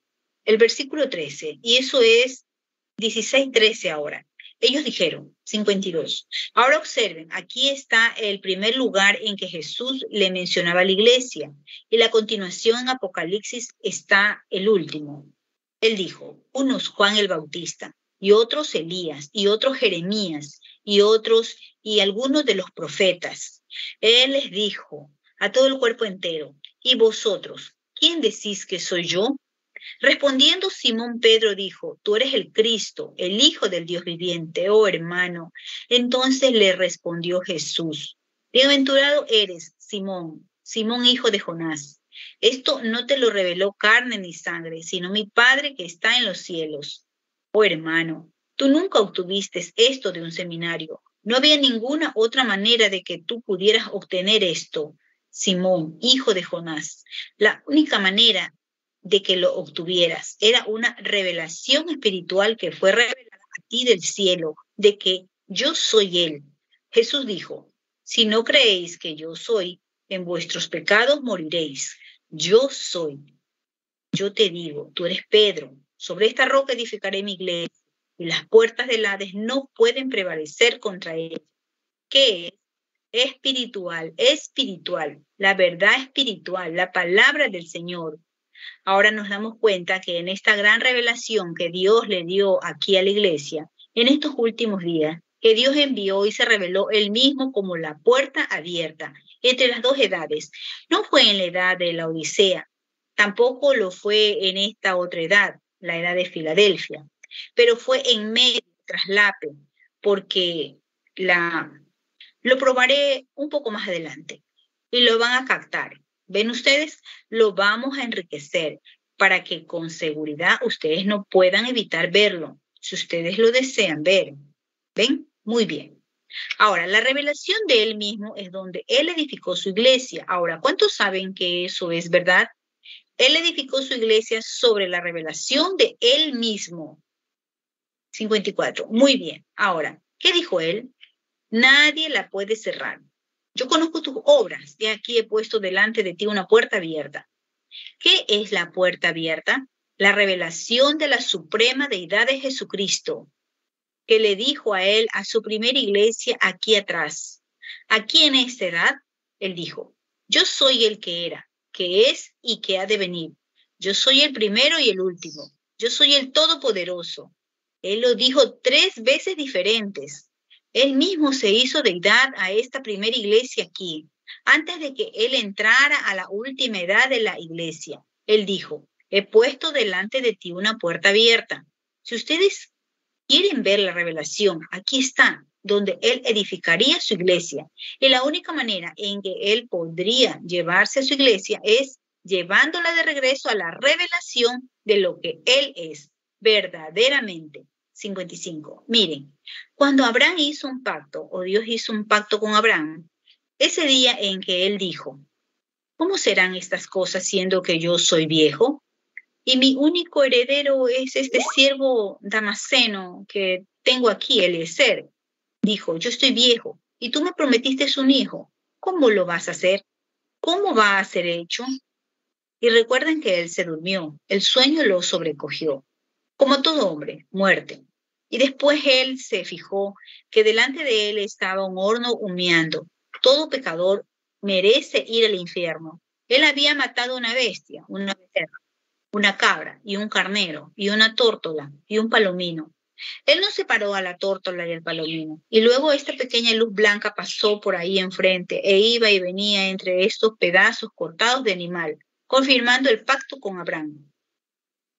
56. Ahora, en Japón, si por casualidad hay una persona japonesa aquí, ¿saben ustedes cómo hacen un pacto en Japón? ellos se arrojan sal el uno al otro. Ellos toman una pequeña vasija con sal y se sientan ahí, ellos hablan. ¿Harás tú tal y tal? Sí, yo haré tal y tal. Y ellos hacen un pacto y cogen un poco de sal y se la arrojan a uno. Porque la sal es un preservador. ¿Ven? Muy bien. Ellos se arrojan sal el uno al otro. Ese es un pacto. En América, la forma en que hacemos un pacto aquí es que nosotros decimos, bueno, harás tú cierta cosa, yo haré cierta cosa. Y lo primero que sucede es que nos damos la mano el uno al otro. Dame la mano. Y ese es un pacto. 57. Pero en el Oriente, la manera en que ellos hacían un pacto es que escribían algo y ellos escribían un contrato y mataban una bestia. En el tiempo de Abraham, ellos partían esa bestia y se paraban en medio de ella. Escribían ese contrato y lo rompían así. Uno tomaba un pedazo y el otro otro. Y luego hacían un juramento que sus cuerpos sean como esta bestia muerta si fallaban en cumplir este contrato. Y ahora la única manera en que este contrato pueda alguna vez ser, ustedes nunca podrían duplicarlo. Unidos, tienen que venir y cuadrar siendo exactamente la misma cosa. 58. Ahora, ¿qué le estaba mostrando Dios a Abraham que él iba a hacer? Que él iba a tomar la simiente de Abraham a través de Isaac hasta Jesús. Y él lo llevó al Calvario, y ahí él lo hizo pedazos. Él arrancó el espíritu de él, lo sacó del cuerpo, él resucitó el cuerpo y lo sentó a la diestra de la majestad en las alturas, y envió el Espíritu Santo a la iglesia.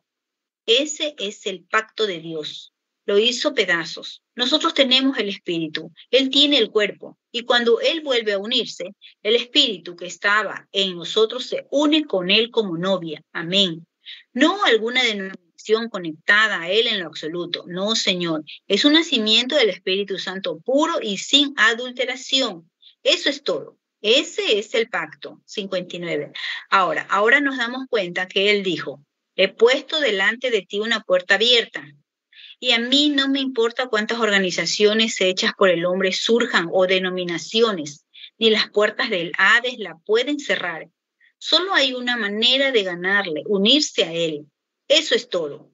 Uno no puede unirse a Él, que uno tuvo que nacer en Él, correcto. Así que no hay nadie que pudiera alguna vez parar ese mensaje de la suprema deidad y el bautismo en el nombre de Jesucristo. Las puertas del Hades nunca prevalecerán contra Él. Ustedes dicen, ¿cómo sabe usted que eso es correcto? Eso está exactamente con la palabra y nadie más puede decir nada al respecto. Exactamente, es la palabra. No hay ningún lugar donde alguien fue bautizado en el nombre de Padre, Hijo y Espíritu Santo. 60. Este gran San Pablo, el ángel de Éfeso, comisionó a cada persona que no había sido bautizada. No importa cómo ha sido bautizado usted. Si usted nunca ha sido bautizado en el nombre de Jesucristo, él lo comisionó a usted a que venga y sea bautizado de nuevo en el nombre de Jesucristo. Él dijo, si un ángel del cielo viniera enseñando cualquier otra cosa, sea anatema. Así que ustedes pueden ver qué clase de mensaje va a tener el ángel que viene en estos últimos días, cuando Él venga. Quizás estemos dirigiéndolo hacia Él, pero les digo, cuando Él venga, Él predicará el bautismo en el nombre de Jesucristo. Si no lo creen, venga mañana en la noche y permítame mostrarles a través de la escritura. Él ciertamente lo hará y la circuncisión del corazón y milagros divinos y operaciones de poderes así como lo tuvieron el día de Pentecostés. La misma bendición pentecostal original vendrá otra vez a ese pequeño remanente para llevarlo allá arriba.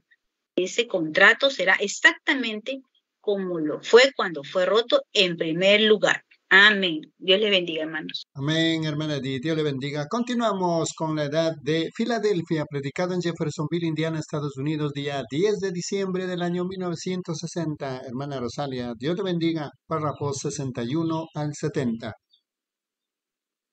Dios le bendiga, hermanas y hermanos. Continuando con el mensaje de la edad de Filadelfia, párrafo 61. Oh, yo lo amo a él. Estoy tan contento, tan contento yo, yo no puedo expresarlo con suficiente fuerza. Estoy tan contento de poder decir que soy uno de ellos. Estoy tan contento. Yo desearía que todos mis hermanos fueran así. Yo desearía tener a mis hermanos y hermanas aquí, a mis preciosos amigos que están en el mundo, para que vieran esta gran cosa. Yo, yo, yo estaría, yo estaría dispuesto esta noche. Dios sabe esto. Yo tengo un niño pequeño que criar, José, y una niña pequeña, Sara y Rebeca, y una esposa encantadora que me desagrada dejar, pero si yo supiera que mis hermanos a través, la gente que yo conozco en este mundo, pudiera aceptar eso y creerlo, y ser llena del Espíritu Santo, yo estaría listo para ir ahora mismo. Eso es exactamente correcto, ¿ven? O si yo pudiera. Y uno no puede, si uno habla suavemente, ellos piensan como que uno está tratando de engañarlos y, solo hay una cosa que hacer. Eso es quedarse con la palabra y remacharla. Y eso es exactamente correcto. Quédense con ella. Oh, cuánto lo amo. 62. Una revelación de él mismo, su suprema deidad. ¿Qué hizo él? Por alguna razón no puedo dejar esto. Él lo reveló en la iglesia de Éfeso. ¿Es correcto eso? Y eso fue cuando la luz abrió paso por primera vez para brillar, la luz cristiana, ¿Es correcto eso? La edad es la edad del Espíritu Santo comenzó aquí mismo en Éfeso. Y el profeta dijo, vendrá un día que no será ni día ni noche, pero al caer la tarde la luz vendría otra vez. ¿Lo ven? Pero ven, este día tenebroso pasó por ahí, todo esto tenebroso aquí, organizaciones y demás. Pero en los últimos días aquí, aquí abajo Él pondría esta puerta abierta Jesús dijo, yo soy esa puerta. 63. ¿Lo han oído a él decir alguna vez, yo soy la puerta, yo soy el camino, la verdad y la luz? ¿Ven? ¿Lo han oído a él decir alguna vez, estrecha es la puerta y angosto el camino? ¿Se han fijado ustedes alguna vez cómo se deletrea estrecho? E-S-T-R-E-C-H-O. Agua. En inglés se usaron dos palabras que se pronuncian igual y se escriben casi igual, pero que tienen diferente significado. Un estrecho quiere decir un agua, deletreada de esa manera. R-E-C-T-O, ¿ven? Estrecha. Agua es el camino y esa agua es la puerta y angosto el camino. ¿Qué es el agua? El portal, la puerta, ¿ven? Para abrir, en el nombre del Señor Jesús es el camino a través del agua. Estrecha es la puerta, angosto el camino que es Jesús. Agua es la puerta en el nombre del Señor Jesús entrando. Arrepentíos cada uno de vosotros y bautícese en el nombre de Jesucristo para perdón de vuestros pecados y recibiréis, mientras miréis hacia el Calvario, el don del Espíritu Santo, porque para vosotros es la promesa y para vuestros hijos. Algunos de ellos dijeron solo para los apóstoles, para vosotros y para vuestros hijos y para los que están lejos, para cuantos el Señor nuestro Dios llamare. Espero es todo, para cuanto el Señor nuestro Dios llamare. La promesa es para todos. Si ustedes vienen de la misma manera que dice la receta, eso es correcto. 64. No digan, bueno, yo me meteré por este lado. Hubo una vez un hombre que se metió secretamente, ustedes saben, y entró de otra manera. ¿Sabían ustedes eso? ¿Han leído alguna vez la parábola de eso? Hubo un hombre que se metió de otra manera. Ahora, en el oriente, cuando ellos, ellos estaban en la cena de las bodas, Lo seguiremos en la mañana, en la cena de las bodas. Como ese hombre se metió allí, trataremos de ver eso en la mañana. Yo iba a decirlo ahora, pero dejémoslo en la mañana. Como ese hombre entró en ese lugar de la cena de las bodas o para la cena de las bodas. Muy bien, estrecha es la puerta y angosto el camino. Agua es la puerta, la entrada hacia el Señor Dios. 65. He puesto la puerta abierta, yo tengo las llaves, yo soy el único que la puede abrir, yo soy el único que la puede revelar, yo tengo las llaves. ¿Es correcto eso? Ninguno puede venir a mí si mi Padre no le trajere. Y todo lo que el Padre me ha dado vendrá a mí. Ningún hombre puede ser salvo excepto por medio de Jesucristo, no por medio de alguna iglesia, alguna organización, algún obispo, papa, solo por medio de Jesucristo. Él tiene la llave. Él es el único que puede. ¿Las llaves de qué? David, el futuro milenio venidero, donde Él se sentará en el trono de David. Yo tengo las llaves de David. Yo abriré esta puerta y nadie la puede cerrar. Nadie la puede abrir excepto yo y nadie puede cerrármela. 66. ¿Cómo puede ser? ¿Cómo puede alguien saber que Él es el Cristo hasta que Él mismo se revele a Él? ¿Ven? Él se revela a sí mismo, Él tiene la llave, Él puede abrirla o dejarla en paz. ¿Ven?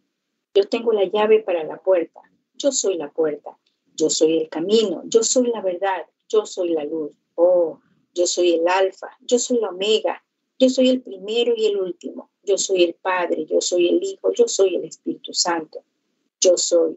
No yo, yo fui o seré, yo soy el que soy, toda la cosa, yo soy. No yo fui o seré, yo soy. Eso significa presencia viviente por eternidad. ¿Ven? Yo soy, siempre fui, siempre seré. Yo soy ahora como siempre fui, siempre seré. ¿Ven? Él, él simplemente es yo soy. Párrafo 67. Tiene las llaves de David para el reino. Nadie puede cerrarla. El séptimo versículo prueba eso muy bien, que él tiene las llaves de David. Nadie puede cerrar. Ahora veamos cuál es la siguiente cosa rápidamente. Aunque tienes poca fuerza, oh, le dijo a este pequeño grupo aquí, solo tienes un poco de fuerza. ¿Qué significa eso? Así como un hombre que ha estado muerto, como que está sacudiéndose a sí mismo, volviendo a vida, reviviendo un poco, viniendo a vida. Ustedes han salido de esos credos muertos y todo. Han comenzado a venir a vida un poco, sacudiéndose a sí mismos, como despertándose a sí mismos tienen poca fuerza, pero ahora he puesto una puerta delante de ti. Tan pronto como ellos salieron del, del luteranismo y papalismo y todos esos otros ismos y metodismos y todo, él dijo, he puesto una puerta delante de ti. Ahora tienes poca fuerza. ¿Qué vas a hacer al respecto? Está puesta delante de ti. Puedes entrar o salir, lo que quieras, lo uno o lo otro. La puerta está puesta delante de ti. Tienes poca fuerza, apenas viniendo a vida, tú apenas has entrado. Párrafo 68. Así fue con la iglesia primitiva. Fíjense en que al final de la edad de la Odisea regresó otra vez a obras. Ahora, si ustedes se fijan aquí, para, para mostrar que esta iglesia está entre estas dos, si ustedes entran a la edad de la Odisea o la edad de la iglesia de la Odisea, yo conozco tus obras, al final de la edad de la Odisea, ¿qué era? Tus obras y el trono donde está Satanás. ¿Qué era el trono de Satanás? ¿Ven? Volvieron directamente a ser nuevamente una denominación. Ustedes, asambleas de Dios y pentecostales unitarios, y la iglesia de Dios, oh, ¿no ven, hermanos, lo que han hecho? Ustedes volvieron directamente a la cosa que Dios aborrecía, rompieron la hermandad, Miren a las asambleas de Dios, cuando de la gente más fina en el mundo está en las asambleas de Dios. Miren a esa iglesia pentecostal unida, tan buena como ustedes la hayan encontrado en sus vidas. Miren a la iglesia de Dios. Y por causa de esas organizaciones, ellos discuten y gritan y discuten el uno con el otro. Y se llaman el uno al otro percha de buitres y cueva de ratas, pues es una desgracia. Una cosa que Dios aborrece es que se siembre discordia entre hermanos. Y eso es correcto. Y esas organizaciones son las que lo hacen. siembran discordia entre hermanos. Deberíamos estar parados en la brecha y diciendo, somos hermanos, no estamos divididos, todos un cuerpo somos. Uno en esperanza y doctrina, la doctrina de la Biblia, uno en caridad. A mí me gusta ese antiguo himno, firmes y adelante, sí, Señor, 69. Al final de, lo, de la Odisea, ellos volvieron a las obras otra vez, o a las denominaciones pentecostales volvieron a ser una denominación. Veamos el versículo 15. Yo tengo aquí el versículo 15 de Apocalipsis 3. Y veamos si eso no está correcto. Apocalipsis 3. Y vamos a ver si escribí eso correctamente. Apocalipsis. Oh, no, no, yo, yo estaba equivocado. Versículo 15. Es el versículo 15 de este mismo capítulo. Muestra la misma cosa. Aquí, sí, ajá. Yo conozco tus obras, que ni eres frío ni caliente. Yo conozco tus obras. Mostró que ellos volvieron de nuevo a su primera cosa. Se regresaron con su fuerza y regresaron a las denominaciones pentecostales. El versículo 15 del, del mismo capítulo. Muy bien. Párrafo 70 por último. Entre las dos edades ellos tenían poca fuerza, entre las dos edades denominacionales de doctrina nicolaíta. Ahora, cuando los luteranos aquí se habían formado, regresaron al nicolaísmo.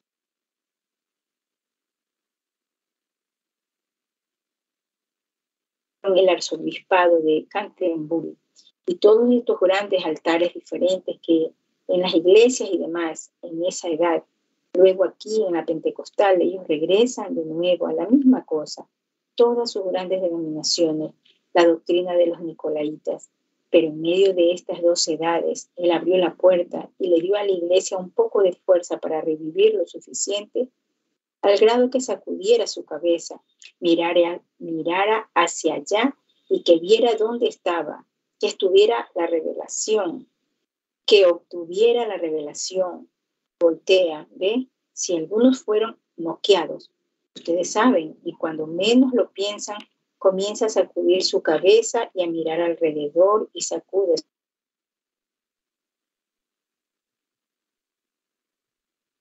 Amén, hermana Rosalia. Dios le bendiga la lectura. Continuamos. La edad de Filadelfia, predicado en Jeffersonville, Indiana, Estados Unidos, día 10 de diciembre del año 1960.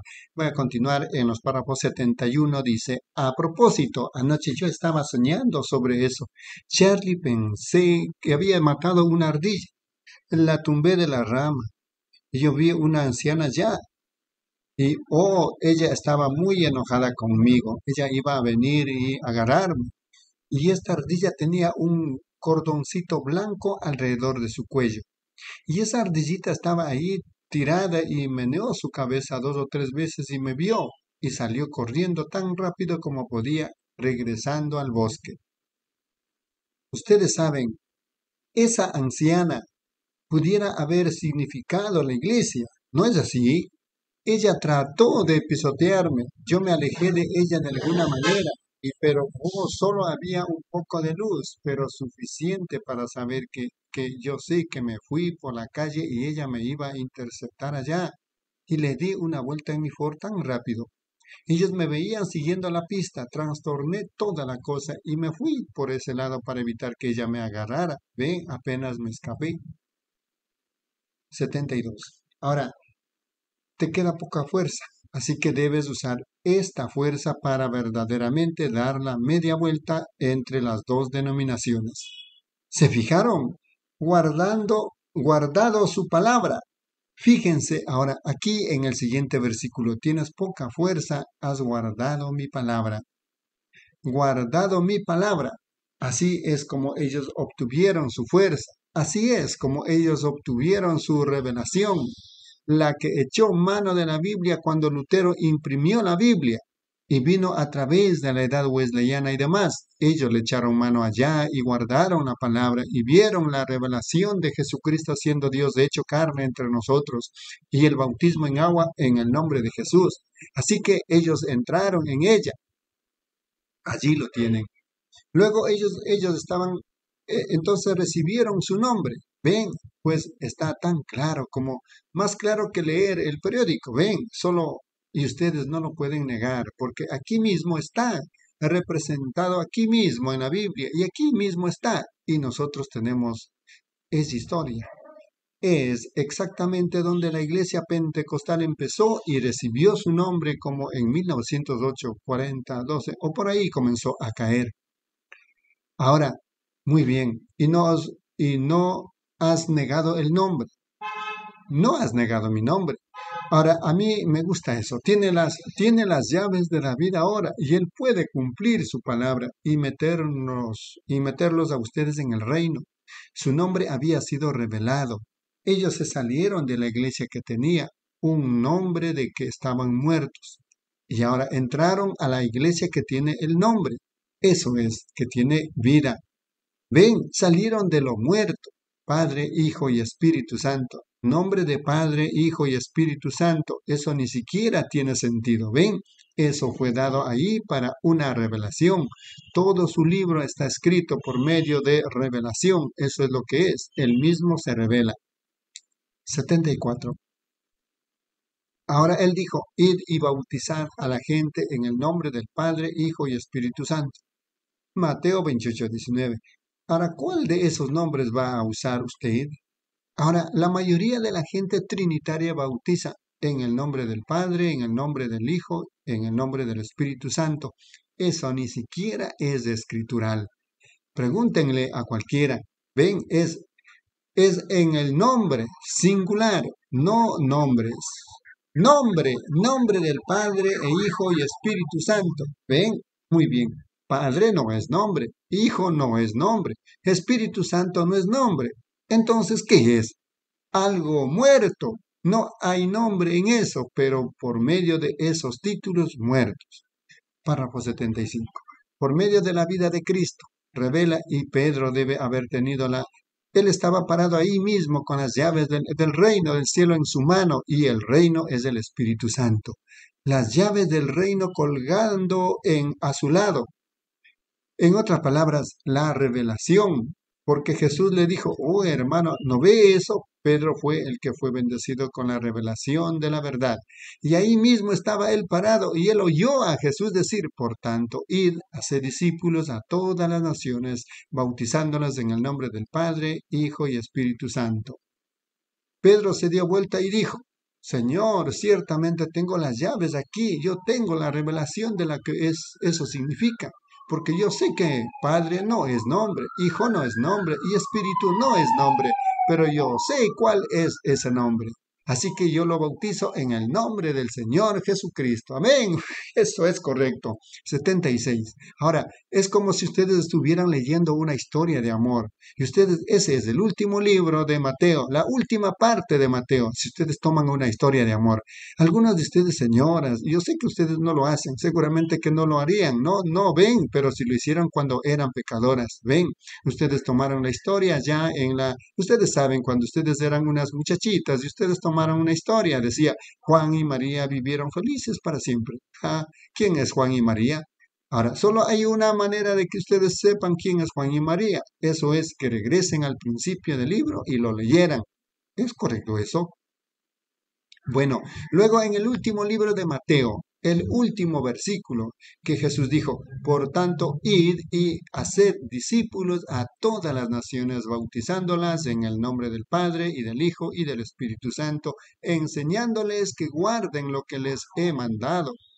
Ahora sí, si Padre no es nombre, e Hijo no es nombre, y Espíritu no es nombre, vale más que ustedes regresen al principio del libro. Ven, Ahora, si nos regresamos al principio del libro, el primer capítulo de Mateo, uno encuentra esto.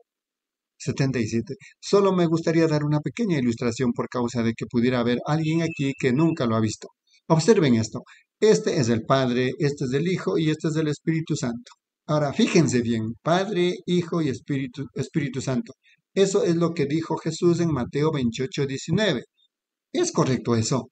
Padre, Hijo y Espíritu Santo. Ahora, ¿quién es este? Padre, clase, escuchen. Padre, Espíritu Santo, Hijo. Ahora, ¿quién es este? Espíritu Santo. ¿Quién es este? La congregación dice Padre. ¿Quién es este? La congregación dice Hijo. Hijo, muy bien. Ahora, ¿este era el Padre de quién? Jesucristo. ¿Es correcto eso? Ahora, Mateo, el primer capítulo, versículo 28, leámoslo. Ahora vamos a tomar la historia de amor y veremos lo que dice. Vamos a ver quién, quién era esta persona que, de que el Hijo id bautizados en el nombre del Padre y del Hijo y el Espíritu Santo. Muy bien, ahora el primer capítulo de Mateo comienza con la genealogía. Libro de la genealogía de Jesucristo, hijo de David, hijo de Abraham. Abraham engendró a Isaac, Isaac a Jacob. Y sigue y sigue y sigue hasta que llega al, al versículo 18. Ahora ven ustedes, sigan adelante aquí abajo al versículo 17. De manera que todas las generaciones desde Abraham hasta David fueron 14, desde David hasta la deportación de Babilonia, 14, y la deportación de Babilonia hasta Cristo, 14. El nacimiento de Jesucristo fue así, estando desposado María, su madre, con José. ¿Están siguiéndome en la lectura? Escuchen bien, estando desposado María, su madre, con José, se halló que había, antes que se juntasen, se halló que había concebido de Dios el Padre. Dice de esa manera, se halló que había concebido de qué? La congregación dice, el Espíritu Santo. Pues yo pensé que alguien dijo que este era su padre. Ahora, si el Espíritu Santo es una persona y el Padre es otra persona, entonces él tuvo dos padres. ¿Qué es lo que entienden? Un hijo ilegítimo. O dicen ustedes, ellos se equivocaron y cometieron un error de imprenta allí. Muy bien. José, su marido, como era justo, no, y no quería infamarla, quiso dejarla secretamente. Y pensando él en esto, he aquí un ángel del Señor le apareció en sueños y le dijo, José, hijo de David, no temas recibir a María, tu mujer, porque lo que en ella es engendrado de él la congregación dice, Espíritu Santo. Amén. Es 78. En boca de dos o tres testigos conste toda palabra. Ven, el Espíritu Santo era su Padre. Pues él dijo que Dios era su Padre. Ahora, si son dos personas diferentes, ¿cuál fue su padre? Ven, ¿en qué se meten ustedes mismos? Ustedes solo se cuelgan en el aire. Ven, ahora ustedes tienen que decir que el Espíritu Santo es Dios mismo. Es del Espíritu Santo, el cual es Dios. Ahora ustedes tienen dos ahora en vez de tres. Muy bien, muy bien, el versículo 21. Lo que en ella es engendrado. ¿Quién puso, quién fue el que concibió esto en ella? El Espíritu Santo. Muy bien. Y dará a luz un hijo y llamará su nombre nombre. Jesús, porque él salvará a su pueblo de sus pecados. Esto aconteció. Todo esto aconteció para que se cumpliese lo dicho por el Señor por medio del profeta cuando dijo, He aquí una virgen concebirá y dará a luz un hijo y llamará su nombre Emanuel, traducido Dios con nosotros. 79. ¿Cuál era su nombre? Ahora, ¿quiénes eran Juan y María que vivieron felices para siempre? ¿Cuál es el nombre del Padre, del Hijo y del Espíritu Santo? Cuando Jesús nació en la tierra, Él era Cristo el Señor, en circuncisión, ocho días después. Su madre le dio el nombre y su padre le dio el nombre de Jesús. Él era Jesucristo, el Señor Jesucristo. Entonces, Él era Señor. Cuando Él nació, Él era Cristo el Señor. Y luego cuando Él recibió su nombre de Jesús, eso lo hizo Jesucristo el Señor. Eso es exactamente lo que fue revelado a Pedro. Él sabía quiénes eran Juan y María cuando él dijo, id bautizada en el nombre del Padre, Hijo y Espíritu Santo. Así que podía ser revelado porque Jesús sabía que Pedro tenía el don de revelación. Él sabía porque ya había sido revelado a él por el Espíritu arriba. Y cuando Dios ve que un hombre puede recibir revelaciones de arriba, Él puede confiar en ese hombre, puede hacer algo con Él. Cuando le es revelado a Él, porque Él dijo que ningún hombre puede revelar esto sino su Padre. Dios es el único que lo puede revelar. Y él sabía que Pedro estaba en contacto con el Espíritu, así que él Pedro conocía la revelación y luego él fue allá y dijo, arrepentíos y bautícese en el nombre de Jesucristo para perdón de vuestros pecados. Párrafo 40, 80. Por último, ahora, unos días antes de eso, Jesús le dijo a Pedro, la misma vez en que él dijo quién era la revelación, sobre esta roca edificaré mi iglesia y las puertas del Hades no prevalecerán contra ella. Y yo digo que tú eres Pedro y a ti te daré las llaves Oh, las llaves para el reino. Yo te daré las llaves. Todo lo que atares en la tierra, yo lo ataré en el cielo. Lo que desatares en la tierra, yo lo desataré en el cielo. Luego, en el día de Pentecostés, en la inauguración de la iglesia, diez días después de que Jesús había dicho, id bautizad en el, en el nombre de Padre, Hijo y Espíritu Santo. Pedro, por revelación espiritual, sabía que no había tal cosa como nombre de Padre, Hijo Espíritu Santo, pues nadie más pensó eso hasta la edad católica. Y toda persona que ha sido bautizada en el nombre de Padre, Hijo y Espíritu Santo, en realidad está bautizada en la fe católica. Eso es correcto. No en un bautismo cristiano. No había remanente.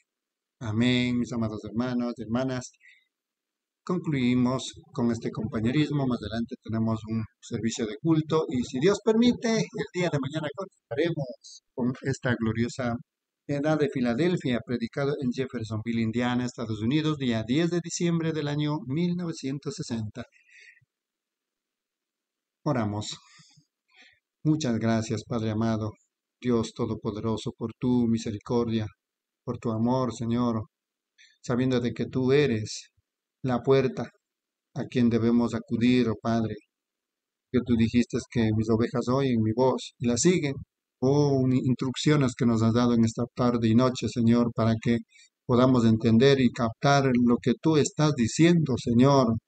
Sabemos de que cada día nos estás instruyendo, así como en lo natural el soldado se instruye para la gran batalla, oh Padre. Aquí estamos peleando la gran batalla, la más grande batalla jamás peleada, Señor, es ahora mismo, Señor, siendo el trono del diablo nuestra mente y, el trono de Dios siendo el alma, el corazón, oh Padre. Oh Señor Dios Todopoderoso, los hermanos y hermanas que también han estado en la cena, Señor, juntamente te decimos muchas gracias por este privilegio que tú nos has dado, Señor, Señor, el alimentarnos de la comida especial del águila, oh Señor. Muchas gracias. Si hay un día más, regresaremos contentos, muy alegres, porque es tu palabra de vida eterna, Señor. Gracias, Señor, en el nombre del Señor Jesucristo. Amén, mis amados hermanos y hermanas, el Señor Jesucristo. Amén, hermano. Amén, hermano. Dios bendiga a todos. Shalom. Amén. Dios bendiga, hermanos y hermanas hermano José, hermano Alfonso, hermana Rosalia. Dios le bendiga, shalom.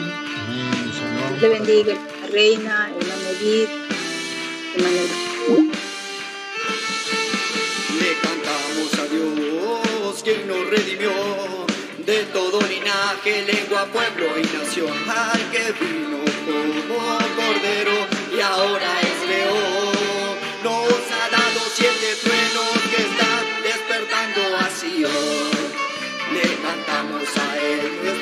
pariente redentor, quien puso un pie en la tierra y el otro en el mar.